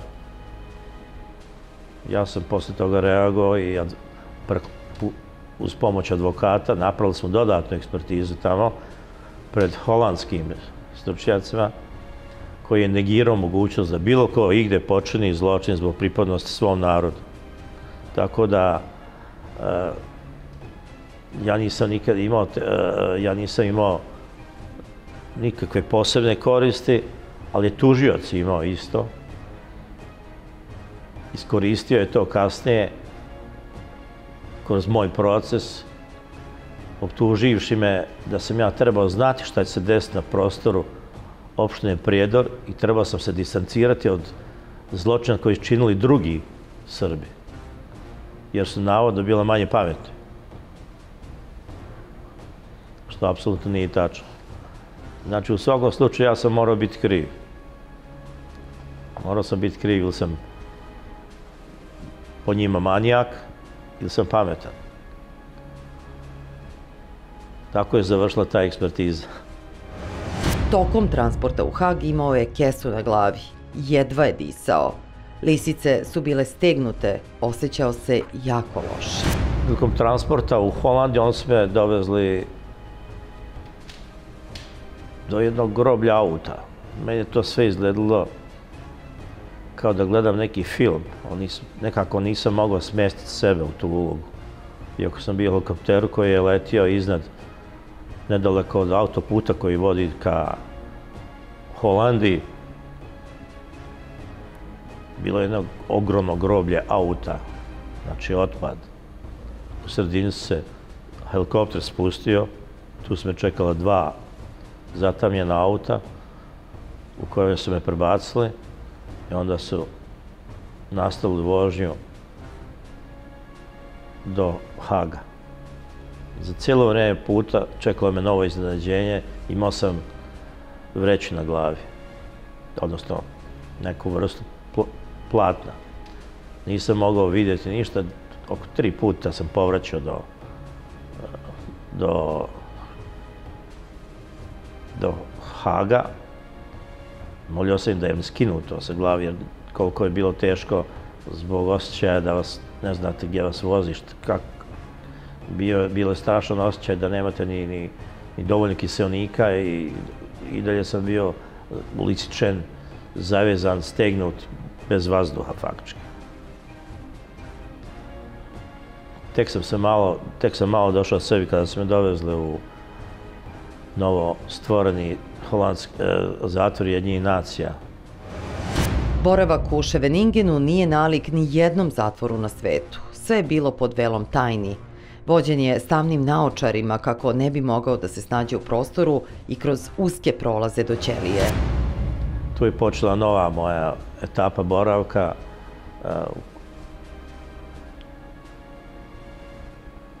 pod kontrolom Ujedinjenih nacija. Zatvor u Holandiji je faktički bio zatvor u zatvoru oni su stvorili posebnu teritoriju koja je navodno pripadala Ujedinim nacijama. Prozvali ga Ševenigen. Opet i tu, na tom mjestu, u kasnijem periodu kada sam odlazio, odlazio na raspred pred Haški sud, pripadnici Ujedinjenih nacija su me predavali opet u Lisičaju i sa pancirom od 50 kg, a u to vrijeme sa naočarima na očima, da ne bih vidio kud se krećem. Predavalo se me holandskoj policiji, koja me transportovala na različite načine do zgrade suda. U zgradi suda je opet nastalo je maltretiranje, vodili su me kroz katakombe nekakve i to je trebalo sve dok me nisu smjestili u ćeliju za koje se ispostavilo da je u stvari u neposrednoj blizini e, sudskog prostorije gdje se vodi suđenje. U kasnijem periodu je došlo do promjene kada su drugi e, zatvornici da boravili tu. Niko nije imao naočare na glavi, niko nije imao e, tolike pancire teške kao ja, ali za mene niko nije intervenisao, za mene se niko nije interesovao.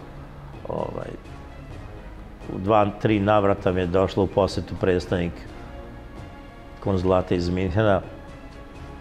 I gle čuda, taj predstavnik je bio albanske nacionalnosti. Smučilo se kada sam vidio ko meni dolazi da pomogne.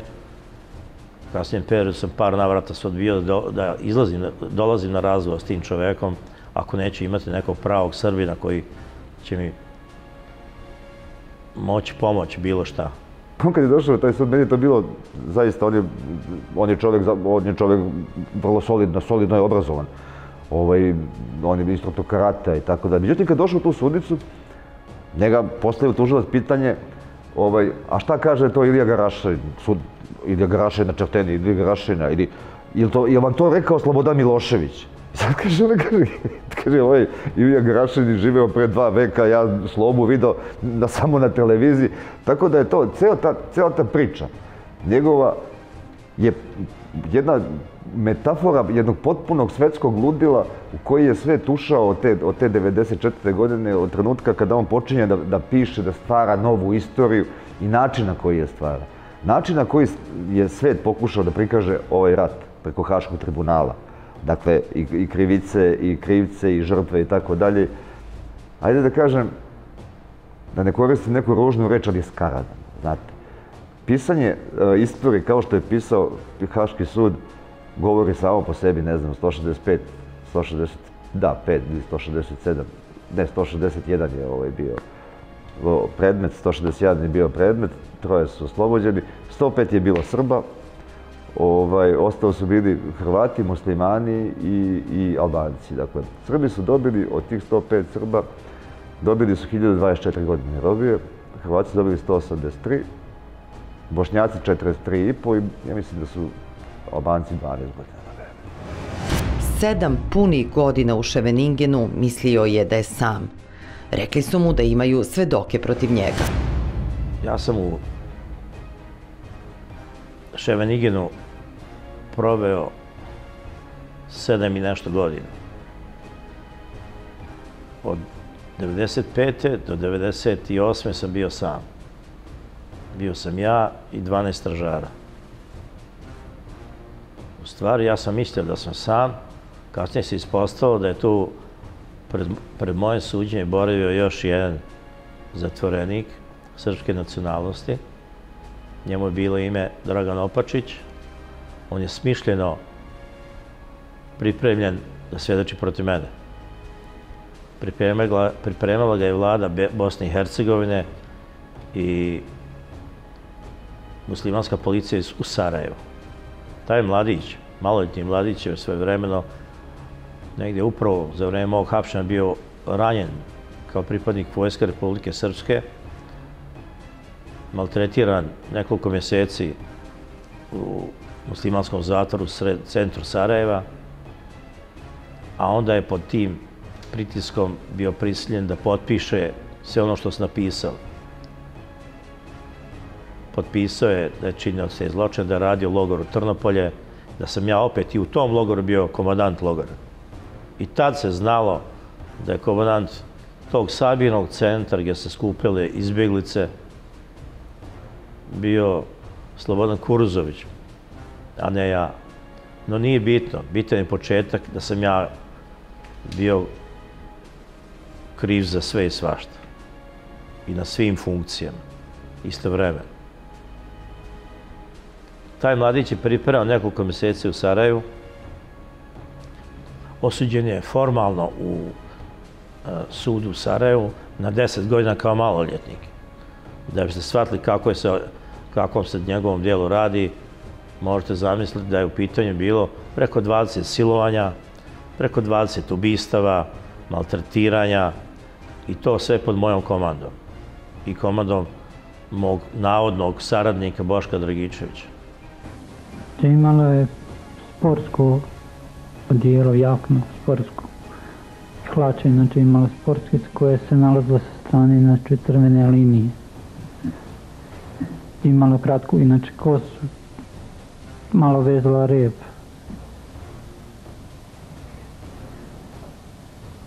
Can you remember what color her hair was? Bila je crna kosa.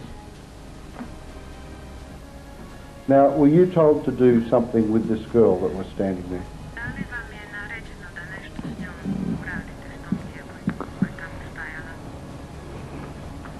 Jeste da joj skinem jaknu. Da je kao skinem golo, ali inače ja sam skinuo jaknu, ali nisam inače mogao ništa drugo da skinem, jer otimala se, branila se, onda su je Karajca Zoran i Čavić, inače svuke. A držale su je ruke, više glavi i držale su joj noge.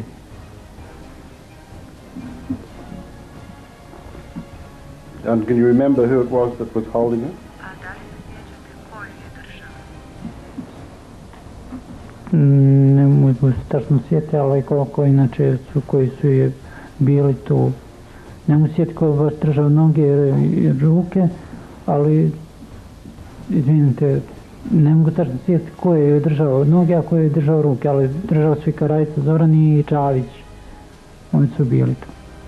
I jesu, rekli su da, da se skinem i da legnem na djevojku da izvršim silovanje. And what did you do? Inače sam se skinuo. I legao sam na djevojku.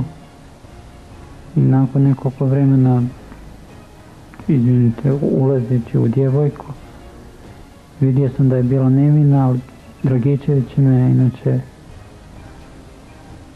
pritisnuo nogom po leđima, tako da sam inače prodrao djevojka.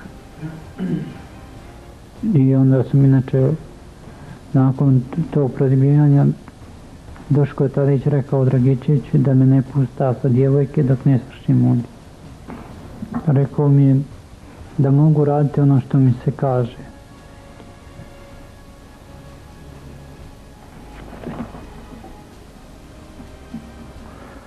Now, were you upset and confused when this happened?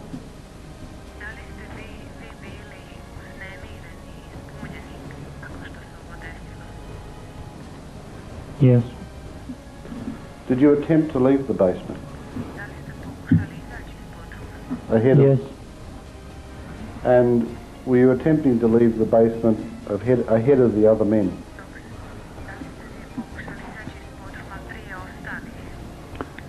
Inače, kad sam izvršio silovanje, Yes. i jesam inače izvršio sam silovanje i onda sam pošao, obukao se i onda sam krenuo iz podruga da, se vratim na svoje stražarsko mjesto. Duško me Tadić uvotio za ruku i onda me inače onda mi je rekao inače da ne mogu se vratiti na svoje stražarsko mjesto dok se svi ne vratimo, ne krenemo. What happened next? Nakon mene skinuo se Čavić i onda je legao na djevojku i onda je izvršio silovanje te djevojke. Izvršenje silovanja Čavića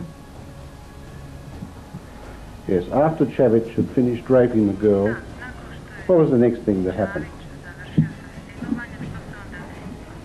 I onda su djevojku digli sa modreca i onda su skinuli povez sa očiju i onda se ona obrisala inače i onda je sve naredili da se obuče i ona je inače priječena da će biti ubijena i da će biti zaklana da se ne smije da ne smije govoriti u logoru što joj se dogodilo. Ti prvi lažni svedoci pojavili se kod njega. Poslije toga tih lažnih svedoka je bilo i la- laž kao takva u, tom Haškom sudu je imala pravo građanstva, ima dan danas prava građanska, bez obzira što postoje te sankcije koje su, ne znam, 300.000 evra i 7 godina robije. Vi ste imali sulude situacije da recimo kod Slobodana Miloševića na suđenju, pojavi se Albanka i kaže ona, je, ona koriša kad je bilo, kad su NATO avioni pogodili albansku kolonu, kaže da, ja sam na, na nebu na, u avionu koji je letio na 15.000 metara, na NATO avionu vidjela oznake aviona Vojske Srbije. I, i ta, takva stvar recimo prođe, znate. Ili imate gomilu Albanaca kod Slobe na, na suđenju se pojavilo, koji nikad nisu čuli do 99. godine dok nije počeo rat, dok nisu pale bombe, da postoji UČK. Ili imate, mislim, to laganje u tom sudu, istina na osnovu tog laganja, prvi korak da se ta istina rasprave, recimo, bilo bi ovo, da se napravi revizija, da država pomogne Dušku Tadiću koji to ne može da finansira iz svog džepa, zato što on živi čovjek sad treba praktično slikarstvo, on je nad, nadare slikar izuzetno i to što malo slika proda koliko može slika da se ovaj, da se proda da znači to bi bio najbolji pravi put da, da krenemo od početka jedan put od početka da paramo laži da, isp, da je oparamo do kraja dok postoji još nas koji iz tog vremena koji se nečega seća. Vidite, ja nisam volao Miloševića. To je, to je javno. Mislim, više nije i tajna, ali čak se bilo razgovaralo kad je, kad je ovaj, uveo sankcije Srbima preko Drine. Ja sam sa nekim mojim ozbiljnim prijateljima ozbiljno razgovarao o mogućnosti atentata na Miloševića. Tako da sam ja bio njegov neprijatelj. Ja, međutim, dok je on bio predsjednik Srbije, ja nikad neću napasti moju majku, koliko god da je loša. Nikad neću napasti moju državu, koliko god da je. Nikad neću dići oružje na nju, nikad neću da napadam mog predsjednika dok je on, tako i Miloševića. Ja ga nisam volao, bio sam spreman stvarno da, da izvršim taj... Jel to je bila izdaja, ja sam doživio to kao izdaju Srba preko Drine i mene to jako bolelo. Ja, to je imalo strašan efekat na moral i a, pošto su ovi u Hagu to znali, oni su verovali da sam ja spreman da odem i da lažem protiv Miloševića. E pa ja to nisam bio spreman. Bez obzira što ga ja ne volim za ovo, ali za ovo drugo ne mogu da ga, ne, ne mogu da ga mrzim. I e, tako da ja sam otišao tamo kao svedok optužbe, a ispostavilo se da sam bio verovatno najjači svedok u njegovu korist dok sam bio tamo. Ja sam samo govorio istinu. I a, nisam bio spreman da lažem. Oni su bili sigurni da ću ja iz te moje mržnje prema njemu, da ću da ga pljujem, da ću da ga crnim, da ću da izmišljam. Međutim, ja to ne bi radio ni za... Ja to ne bi radio ni za Vuka Jeremića, ovog bednika ovaj, što, je, što me izdao tako. I ne samo mene što je izdao, nego je dao zeleno svetlo Ustašama. Nakon te njegove izjave krenula su masovna hapšenja. Nije bilo lako dokazati da svedoci lažu, jer učili su ih šta da pričaju. One kojima je pretila doživotna robija, jedini izlaz bilo je da pričaju protiv Tadića. Gledao je kasete kako bi bio siguran kako Duško izgleda, pokazivali su mu i grobnice. Činjenica je da je taj mladić pripreman u Sarajevo, da je sve kasnije svjedočio protiv mene. Pod punom zaštitom. Ja sam ga samo mogao vidjeti, ali nisam znao nikakve podatke o njemu. Čovjek koga nikad nisam vidio. Znate šta se desilo posle? Za kratko vreme nakon drugog svjedočenja. Svjedočio je tri dana protiv mene. Nakon ponovnog svjedočenja, moj brat i istražni organ iz Beora Petrović otkrili su da je lagao kada je ispričao da su mu mrtav, mrtvi otac i brat i na taj način počelo se otkopavati klupko i na kraju je priznao da je sve lagao protiv mene je priznao da je bio prisiljen da laže, da je pripreman i u, i u Sarajevu i u Hagu od strane muslimanskih istražnih organa, a onda i od strane istražnih organa Ujedinjenih nacija. Učio je sve o to, šta se dešavalo navodno na tom prostoru, šta su oni govorili, gledao video kasete, fotografije na kojima sam se ja nalazio, a bilo ih je mnogo, jer sam bio takmičar u karateu u to vreme, imali smo kaseta, bilo, sam, bilo smo neka vrsta mladih, uspješnih e, takmičara i nije teško bilo da zapamti sve to. Kada je dobro pripremljen bio, pojavio se na suđenju. Bio jako uvjerljiv, pitao sam mog advokata kakve su šanse da njegova priča prođe on je jako uvjerljiv, ako nešto ne uradimo, dobit ćeš doživutu robiju. Ipak je to bilo u pitanju preko 20 ubistava, preko 20 silovanja, preko ne znam nijako čega sve. Istražni organu jedinjih nacija i tužioci su njega vodili iz Holandije preko Zagreba u Prijedor, a onda je on trebao da nauči gdje se nalaze objekte u kojima će svedočiti. A onda ih je trebao odvesti na mesta gdje se nalaze grobnice, gdje su pokupani navodni leševi. Nigde nije bio lešao, ništa nije pronađeno, vraćen je, ali je tužioc u saradnju sa istražnim organima Ujedinje nacija, a prije svega Bobom Ridom iz Amerike, oni su ga pripremali do, do, samog, do samih detalja. Kada smo otkrili da je lagao, moja, moja odbrana kada je otkrila, kada je dokazano i priznao da je sve izmislio, da se ga prisil da svedoči i da smo obećali, ako bude uspešno svedočio, da će ga osloboditi daljnjeg služenja kazne u Sarajevu.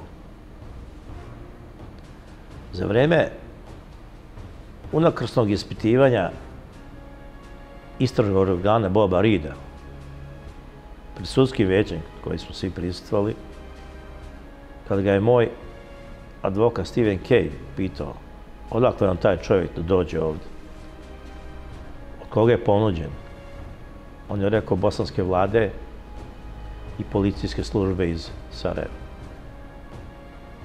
A onda se pravio lud kao ja sam sumnjao da li on govori istinu ili ne, a imao je pre toga godinu i po dana da proveri tačnost tih podataka. Što znači da je aktivno učestvovao svemu tome. Kasnije mi je Dragan Opačić poslao tajnim putem jedno pismo dok se boravio u Hagu, u kome je naveo činjenice kako su ga vodili, šta su mu radili i optužio direktno Boba Rida da je on pripremao ga da se protiv mene. Iako je sudsko vijeće tad dalo zadatak e, istražnim organima Ujedinjenih nacija da sprovedu istragu koje je tačno pripremao imenom prezmena u Sarajevu, koje je pripremao Dragana Opačića protiv mene. Tužilac je pre, preuzeo tu ulogu, ali nije ništa uradio po tom pitanju, naravno. Tako da je ta, e, to pitanje ostalo bez odgovora. Na taj odgovor ja čekam već 15 godina i nadam se da će ga dočekati ovih godina. Što se tiče Opačića, takva je sudbina bila. Da je sve samo bio Opačić, bilo bi mnogo lakše. Međutim, kako smo mi otkrivali jednog po jednog da lažu, on su pronalaz druge svedoke. Da li si pripremala ranije, a uglavnom moglo bi se reći da svi iz istog paketa, što znači iz Nemačke. To, to je bio prvi slučaj, za njega je potrošeno nevjerovatnih 100 miliona dolara. Ja to nisam verovao da je za taj slučaj Duška Tadića potrošeno 100 miliona dolara. Znate, to je ogromna suma novca i onda sam tražio da mi, da mi se objasni kako i proveravao sam šta mi priča Dule. Dakle, tri, tri i po hiljade sati dokumentarnog filma o Dušku Tadiću, o Srbima kao zlikovcima, zlotvorima, kao genetskim izopečenjacima je snimljeno kao predigra tom velikom suđenju. Ako znate da, recimo, prosječno dokumentarni film sekund traje 10, sekund filma košta 10 evra, možete se čuti koliko je to. Ne znam koliko je hiljada sati radije programa bilo o Srbima, o Dušku Tadiću u Nemačkoj, Holandiji, Belgiji, ne znam, sve gde. A sve to je napravio, tu analizu i tu ekspertizu, napravio jedan čovjek koji se zove Tomas Deichmann. Tomas Deichmann je u to vreme bio mlad i izuzetno darovit nemački novinar koji radi u prestižnom jednom mediju i koji je za potrebe, ovaj, za potrebe odre pristao tako nešto napravi. I on napravi tu analizu, ona je prezentovan sudu, naravno sud nije obazirao na to. Oni su pokušali da, da naprave kontekst celog suđenja, ili kako to, pošto Dule Tadić bio prvi čovjek posle Eichmana koji je doveden u plastični kavez onaj stakleni kavez, kad su ga pitali u panciru, svi onako obučen, kao zašto da te ne ubiju, ne znam, žrtve da te, ili da te ne ubiju ovi tvoji, koji ko sve. Znači čovjek je bio posle Dajkmana prvi koji je došao. Ja sam pitao posle Dajkmana, ovaj, ček, pre dve godine sam ga našao, Dajkmana, telefonom smo se čuli i on čovjek, prvo se zapanjio kad sam ga našao, kao kako si me našao, zahvaljujući nekim zajedničkim prijateljima, iz ostalo taj zajednički prijatelj se zove Petar Hanke. Ovaj, ja sam od Hanka njegovih dobio, dobio telefon i pitam Dajkmana, pošto Dajkman dolazi dan danas kod nas na Kosovo, kako se seća tog, tog slučaja Tadić, kaže, ovaj, znaš, ispričat ću ti sve kako se seća, vrlo sam ponosan na te trenutke kad sam radio na odbrani istine i odbrani pravde, ali ovaj, molim te, nemoj da pominješ moje ime sad u medijima, znaš, ja radim u jednoj velikoj tehnološkoj firmi, na poslovima marketinga, može se dovodi, nisam treba pričam, ali nema veze. I ne bih voleo da imam probleme. Dovoljno sam imao problema u životu i sam často obavljao svoj posao. Dakle, o tome kakav je to, kakav je to bio slučaj ovaj, Dušana Tadića. u prvom trenutku i tad nisam ništa znao toga. Ali godinama kasnije ja sam došao podsjed arhivskog materijala na osnovu kojeg sam i pišem knjige o, o, o tom događaju. Ispostavilo se da sam ja u stvari kidnapovan na ulici. Jer u to vreme nije postala optužba ni u jednjih nacija protiv mene. Oni su imali već spisak ljudi koji, koji su tražili da budu dosta uhapšeni i doveden pred sud u Hag. Niti je Nemačka imala optužnicu protiv mene. Kasnije sam shvatio i saznao da Njemačka ima takvu praksu. Prvo uhapsi čovjeka, a onda traži dokaze. Znači, oni su djelovali fački pod utjecaj medija i famozne Monike Gras. Pregledom arhivskog materijala našao sam nalog za hapšenje. Originalni nalog za hapšenje, na osnovu čega smo oni kao trebali privesti tužilaštvu u Karlsruhe. Tamo uopšte ne postoji nalog, već samo opis da je na osnovu usmene, usmenog predloga tužilaštva da sam ja tad uhapšen i preveden na ispitivanje. Prvo pojavljivanje u Haškoj sudnici bilo je spektakularno za medije kako bi o Srbima pisali što gore stvari. Boravio je u prostoru sa neprobojnim staklom, oko njega je bilo mnogo čuvara. Što se tiče ostalih događaja za vreme mog suđenja, moje prvo pojavljivanje u Haškoj sudnici je bilo spektakularno za medije koji se nadvetali da što gore piše o meni. Tu se niko nije našao da makar proveri neke od tih laži koje se kružile e, po novinama i televiziji. CNN je svaki deset minuta objavljivao te vesti o hapšenju najzloglasnijih zločinca sa Balkana. Mene su vodili, ranije sam opisao kako su me dovozili tu, a sam prostor gdje sam ja boravio bio je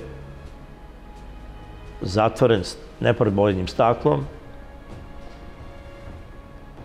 Oko mene sedla dva stražara. Ja nisam imao mogućnosti direktno da kontaktiram advokate. Tek nakon mog suđenja, to neprobojno staklo, koje je lično najviše na ono staklo koje su imali nacisti za vreme suđenja u Nirbergu, oni su ga uklonuli. Ne, na moj e, ne toliko zbog pritiska moje odbrane, već zbog nekih drugih razloga. Jednostavno nije bilo tehnički moguće komunicirati sa njima. A ja sam kao optuženik imao pravo da razgovaram i da postavljam pitanje e, svjedocima koji se doču protiv mene. Da bi sve ovo potpunio, ja, ja bi vam morao reći da je mom hapšenju u Minhenu usledila kampanja takva da je vrlo teško bilo izbeći e, taj čin. Ja sam lično mislio da, je to, da će to proći tek tako. Međutim, evo, nek, godinama kasnije, a skoro, čitam u Al Jazeera informaciju da su me pratili muslimani, da su tragali navodno za mnom. Oni se hvališu glumeći Vizentala da love zločince i tako dalje. Opet, kao što sam rekao, ja se nikad nisam krio u Njemačkoj. Međutim, nađu se ljudi kao što je uh, Hussein Bešić, koji daje intervju kaže ja sam ga otkrio, pratio sam ga i prijavio policiji. Ja sam bio prijavljen u policiji. Nije bilo potrebe da me neko ponovo prijavljuje. Ali kroz moju nesreću, mnogi sugrađani moji tamo su gledali da sebe dignu na neki viši nivo ali što je najinteresantnije, njegova izveva je bitna i u današnje vreme kada je rekao za Al Jazeera nakon mog hapšenja da su on i njegovi ljudi počeli pripremati svedoke protiv mene. Što znači da nije, da nije jedino sud u Sarajevu pripremao svedoke, već njihove ispostave po inostranstvu. Ja sam o tome samo mogao nasluti da se priprema jedna garantura svedoka u Hamburgu, što se kasnije ispostavilo, jer najviše, najviše svedoka i u Hag stiglo iz Hamburga.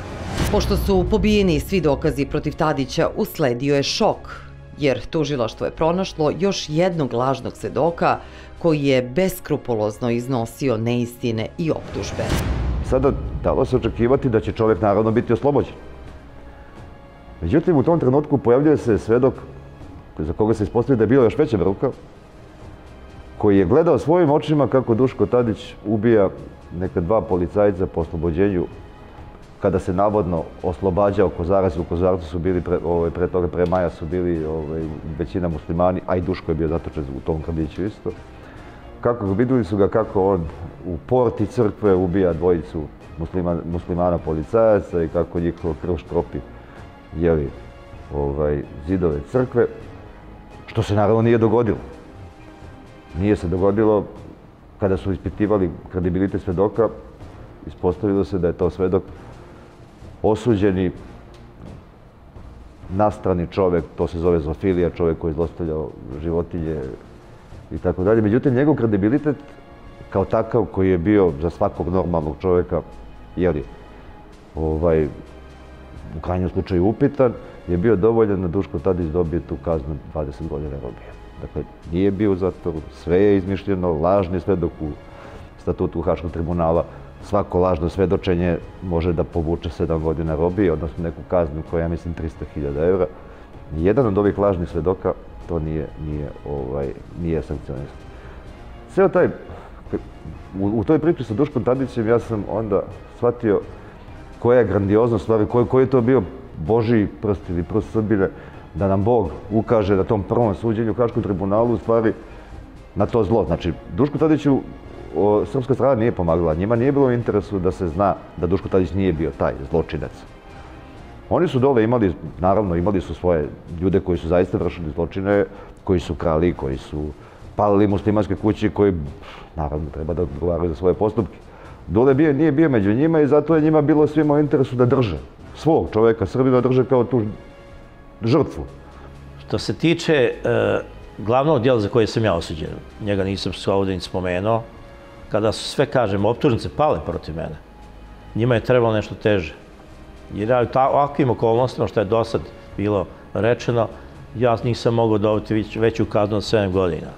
Čak je moj advokat Vladimirov poslao poruku oči izricanja presude da ne očekuje kaznu veću od 7 godina.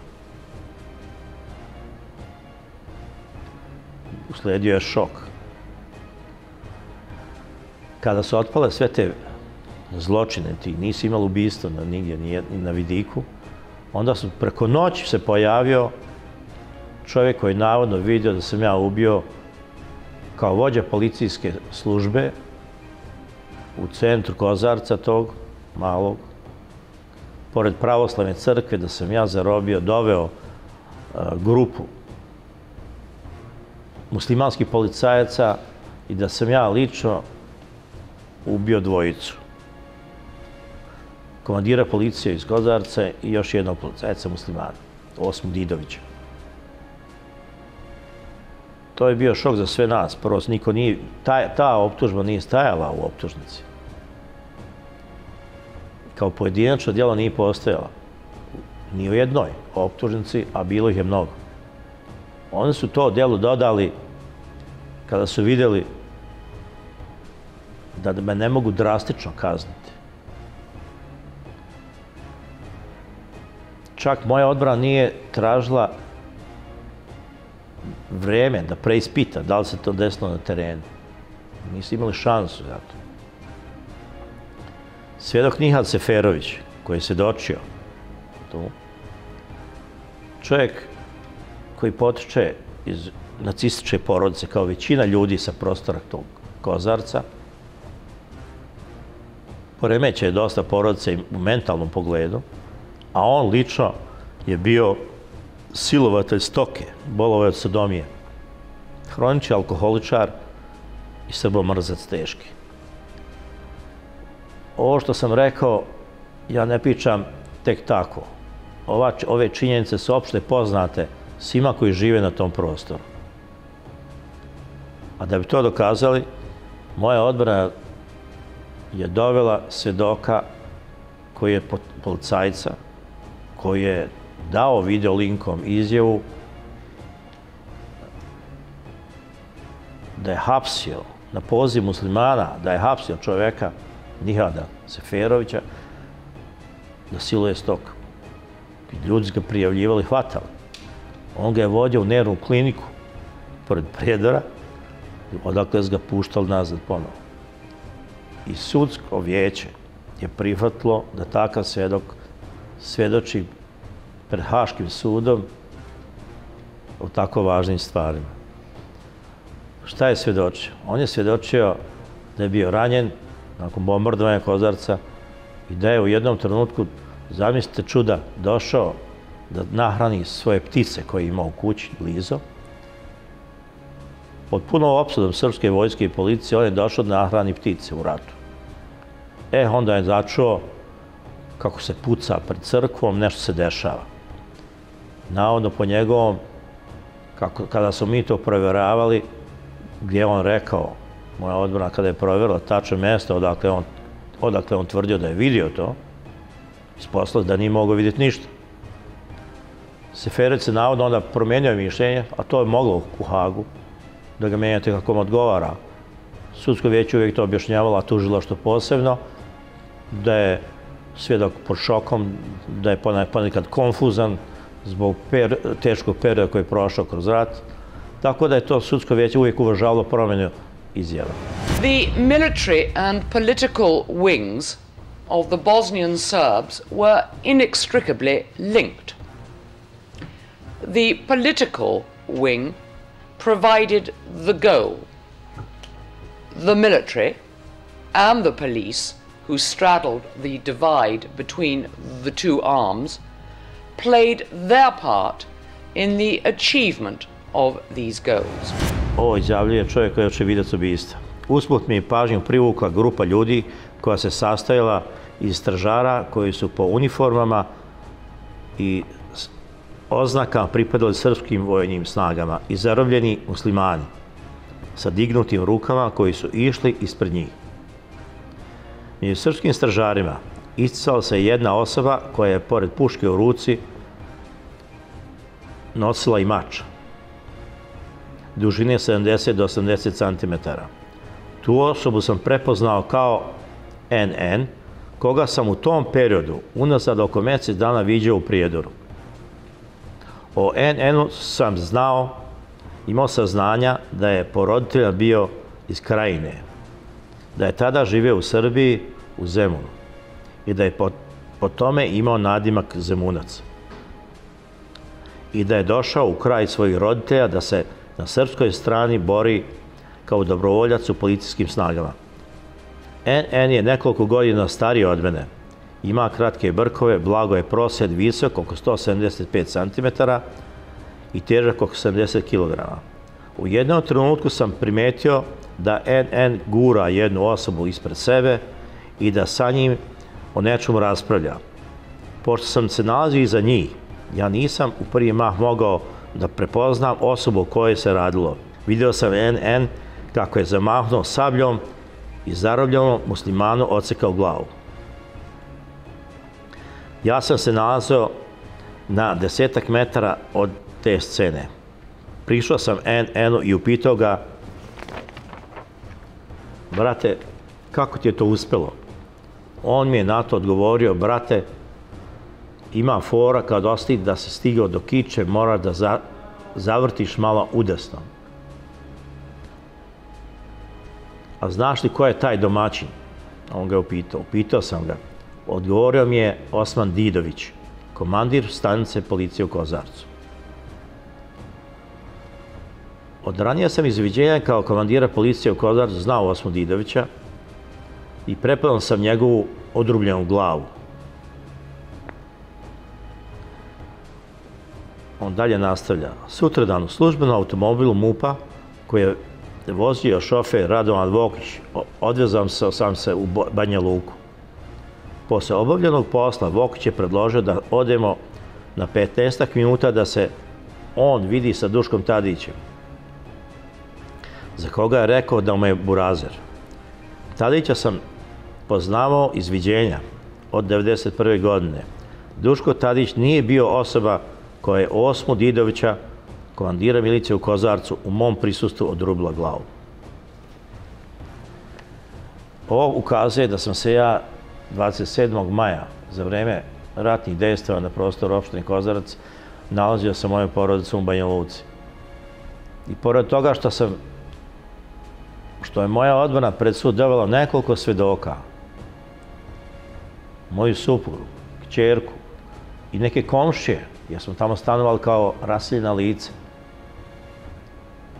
Sud je jednostavno to ignorisao. Nevin je, on je tačno je znao, on je zna ime čoveka koji je ubio. Ta dva muslimanska policajca su ubijena zaista, nisu bili porti crkve. Nikad nisu bili, nijedan zločin, Srbi, Srbi nisu napravili nijedan zločin porti svoje crkve, to je sigurno. Ali ta dva čoveka su ubijena i ubio ih jedan drugi čovek, ali pet kilometara dalje.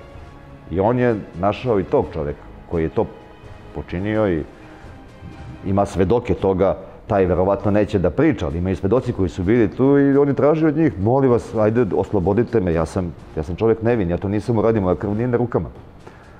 I on nikako nije mogu da pridobije, pridobije njih za, da, da svedoče. Onda se obraćao ovdje u Srbiji, pa se obraćao Republici Srpskoj, obraćao se svima ljudi, ajde da pomognete mi, jer moje, moja nevinost, koja je neupitna, znači nisam bio, sudski je dokazao da nisam bio u tim, u tim logorima i nisam činio te zločine. Ajde da, da, da, da perući mene opraćemo na neki način Republiku Srpsku. On nikada nije našao, nikada nije, nije naišao na tu potrebu ili na, na pomoć države. Ja nisam mogu da razumem kako je moguće da naše države, Srbija i Republika Srpska, zovem ih, hajde uslovno naše, ovaj, kako, im, kako nema neki čovek u tim državama koji će reći, ej, hajde, napravit ćemo to, napravit ćemo reviziju tvog postupka, imat ćemo jednog oslobođena. Ne. Posle toliko godina na robiji i posle izlaska na slobodu, ispostavilo se da se nijedan zločin nije dogodio u blizini crkve u mestu za koji je Tadić osuđen. On je jedini svedok koji to svedočio. Nije postao ni jedan čak. Iz druge ruke da je čuo nešto tako. Jer se nijedan zločin u Bosni ispred crkve pravoslave nije desio. U tom mjestu sigurno nije. To svi znali. Nakon toliko godina ja sam otkrio da se ubijstvo tog komandira iz Kozarca, Osme Didovića, desilo dva kilometra dalje. I to 27. maja u jeku tih uličnih borbi tamo. Saznao sam da je zarobljen i da je tamo ubijen. To sam saznao skoro, od čovjeka koji je bio očevidac tog ubijstva. Umeđu vremenu, u isto to vreme, kad Dule nije mogo da nađe te naše ljude koji će da, koji će da mu pomognu, iz Japana dolazi čovjek, profesor koji se zove Masayuki Iwata. Profesor Tokijskog univerziteta, profesor sada na avion, dolazi kod Duška Tadića koji je našao utočište ovdje kod Pančeva. Jesi ti Dule Tadić, pa, pošto su oboje iz Pančeva, oni su nad, pre toga su našli kontakt. Kaže, molim te, ako je ovo istina, odvedi me sada u Prijedor, odvedi me u Kozarac, odvedi me tragom ovoga što ti ja kažem, da se ja uverim. I Dule ga naravno sedne u kola i odu tamo. I profesor pro, tražio sve da vidi, razgovara s svedocima i profesor shvati da je sve laž. Čovjek nije mogu da vede sve, ode u Japan i napiše knjigu. I ta knjiga je osvojena na japanskom. Elem, na, nastava priča s tih knjiga, knjige obožena zbog toga što zaista kod ima, mnogi pametni ljudi čitaju knjige. Tu knjigu od Masayuki Iwata uzme profesorka Yuki Osa. Juki Osa je također profesorka, ovaj, također profesorka Tokijskog univerziteta, inače 94-95. godine. Ona je bila ovaj, ovdje pred Crvenom krstom i ona je pročitala to i ona znajući žena ovaj, šta se, do, mislim, kak, kako se prikaziva rad crno-belo, ona je shvatila, pričala sa, sa, sa, ovaj, sa profesorom i došla kod Duleta Tadića. U tom priliku Dule mene zove, hajde hoćeš da se upoznaš sa gospođom Yuki Osa. Yuki Osa je sada ona je članica ovog, ovoga naše komisije, u stvari komisije Republike Srpske za istraživanje faktografije Srebrenice. I onda sam imao priliku sedi sa Yukijom Osom i onda shvatim da je žena umeđu vremenu, gledajući, gledajući ovu našu sudbinu, sudbinu Srba, za potrebe japanske države napisala knjigu o Srebrenici. Napisala, ja ga pitam kako Srebrenici, pa ono što se zaista zbilo u Srebrenici. Pa kako vi znate, kaže, naravno da znam, ja sam istraživao.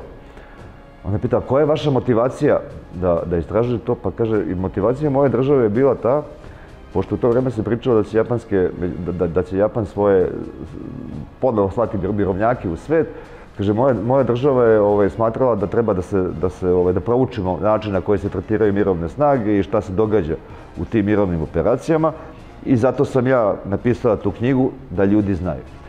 Jele, profesorka Yuki Osa je postala doktor na Srebrenici. Ona sada predaje predmet, jedan predmet koji se zove, koji je vezan za, za međunarodno pravo i o, međunarodne snage na, na teritorijama kao što je recimo naše Kosmet protektorat ili kao što je protektorat, ajde da kaže i Bosna, mislim, mada se to neće mnogima dopasti. I ona uči studente šta se događa u svetu kada, kada ne vide ono što, on, ono što treba da vide, nego vide ono što i prikazuju TV kamere. Kazamat u Hagu, daleko od Srbije, zahtevao je mnogo troškova i za običnu posetu porodice. U sobi za posete stajali su čuvari pod izgovorom štite Tadićevu porodicu od njega. Najmlađa čerka nije prepoznala oca. Ja sam moju prvu posetu porodice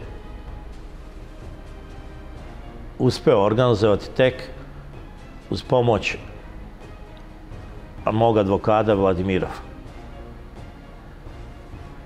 Nijedna od mojih država, Republika Srpska, i Srbija nije pokazala interes da nešto učini po tom pitanju. Da pomogne oko transporta i bilo na koji način. Advokat je predložio da porodica može doći, ali ukoliko moja supruga pristane da da intervju za holandske, holandsku televiziju. Ja znam da svi članovi moje porodice kroz, prošli kroz jednom težak period medijskog blaćenja svega i svačega, ali ipak u želji da vidim svi njih i oni da mene vide, prihvatili su da taj predlog. Supruga i dve kćerke su došli u posetu. Ja sam tad bio naravno sam tamo. Oni su organizovali posetu na jednom spratu nedaleko gdje sam ja uh, imao ćeliju. Interesantno je kako su ono organizovali. To je bila jedna velika prostorija koja je kasnije služila za druženje zatvorenika kada ih je bilo više. I na jednim vratima i na drugim stavili su po jedan, sedli su po jedan stražar. Sto za postoje bio na sredini, ćeli, na sredini te prostorije i čak su odredili gdje će ko sed Najmlađa kćerka me prilikom dolaska nije ni prepoznala. Prošlo je mnogo godina, ona imala svega tri godine. Starija da, i supruga. Sjedili smo tu, razgovarali, pili smo neke sokove. Kada sam ih pitao zašto moraju sediti tu, stražar mi je rekao, izvini, ali naređeno da, da čuvamo tvoj, članove tvoje porodice. Oni su čuvali, čuvali članove moje porodice od mene. Morate zamisliti kakva je to hajka bila medijska da im je, da su čak to, to, išli toliko daleko. I kako to život ume da uredi, na dan izricanja presude, Duško Tadić je imao u Londonu izložbu slika nastalih u Maloj Ćeliji. Pisma koje je slao porodici i prijateljima iz zatvora uvek su vraćena, pa su štafela i kičica bili bunt na sve što mu se dešavalo duže od decenije. Većina dela prodata su, a on je zaradio oko 8000 funti. Samo moja ćelija izgledala, to je bio mal prostor, ali prilično uh, pristojno uređen. Imao sam televiziju. Na moje insistiranje dobio sam štafela za slikanje, jer ja sam uh, od ranog djetinjstva se bavio slikarstvom i prošao sam, išao sam u školu slikarstva i bavio sam s tim i danas se bavim slikarstvom, jako ozbiljno. I ozbiljni kritičari smatraju da, da to dobro radim. Iako je to bila mala ćelija, ja sam uglavnom slikao noću. Faktički nikad nisam iznosio štafelaje. Slikao sam od 12 do jutra, a onda negdje sam pred zoru ležao spavati. To je sve trajalo do početka procesa i kasnije sam slikao, međutim, pred svaki izlazak novih svedoka ja sam morao intenzivno raditi i baviti se čitanjem i proučavanjem izjava svedoka, pa sam te iste dostavljao advokata, na osnovu čega se oni vodili ispitivanje e, ti koji će se pojaviti narednog dana. E, interesantno je ovo da sam mnogo slikao i na dan izricaja moje presude ja sam imao česte posete naših ljudi iz Holande, kao što je gospođa Metzeler iz Beograda, gospođa Sajčić iz Londona. Ta gospođa Sajčić jedne prilike došla mi u posetu i tad se rodila ideja da napravimo izložbu u Londonu. Ja sam se malo zainatio jer su oni meni vrlo često sprečavali slanje pisama iz zatvora određenim osoba. Tek kada prođe mjesec da vidite da to nije nigdje otišlo, vi dobijate ga nazad. Međutim, na moju molbu Ljubica je pristala da organizuje izložbu slika, a ja sam imao želju da ta izložba slika bude na dan izlicaja moje presude. I upravo se to desilo. Na dan izlicaja moje presude mi smo imali, e, ona je organizala izložbu mojih slika u Londonu, je pristalo jako veliki broj ljudi i preko 200 novinara. Bio je to šok za tu javnost, tamo zašto tog dana i zašto tada, Međutim, interesantno je ovo da se prodalo jako puno slika za vrijednost od 8.500 funti. Pitanje, tu pitanje s mali akvareli, i ovaj, tako da sam ja bio predstavan što sam te pare mogao poslati onima moje porodice. A, a s druge strane bio sam mentalno, apsolutno sretan i prezdovan jer sam se borio da preživim. A način preživljavanja bio između ostalog moja komunikacija sa vanjskim svijetom putem slika. To nisam mogli sprečiti da izađe, jer nisam mogli čitati, s obzirom da ja slikam e, na nadrealističan način, pola njih nije nikad razumilo šta sam htio, poruke koje su, faktički sam blatio ceo sud, smijao sam sa njihovim, njihovoj pravdi i svema ostalome, ali niko to nije mogao razumjeti, a ja sam opet u duši bio zadovoljan.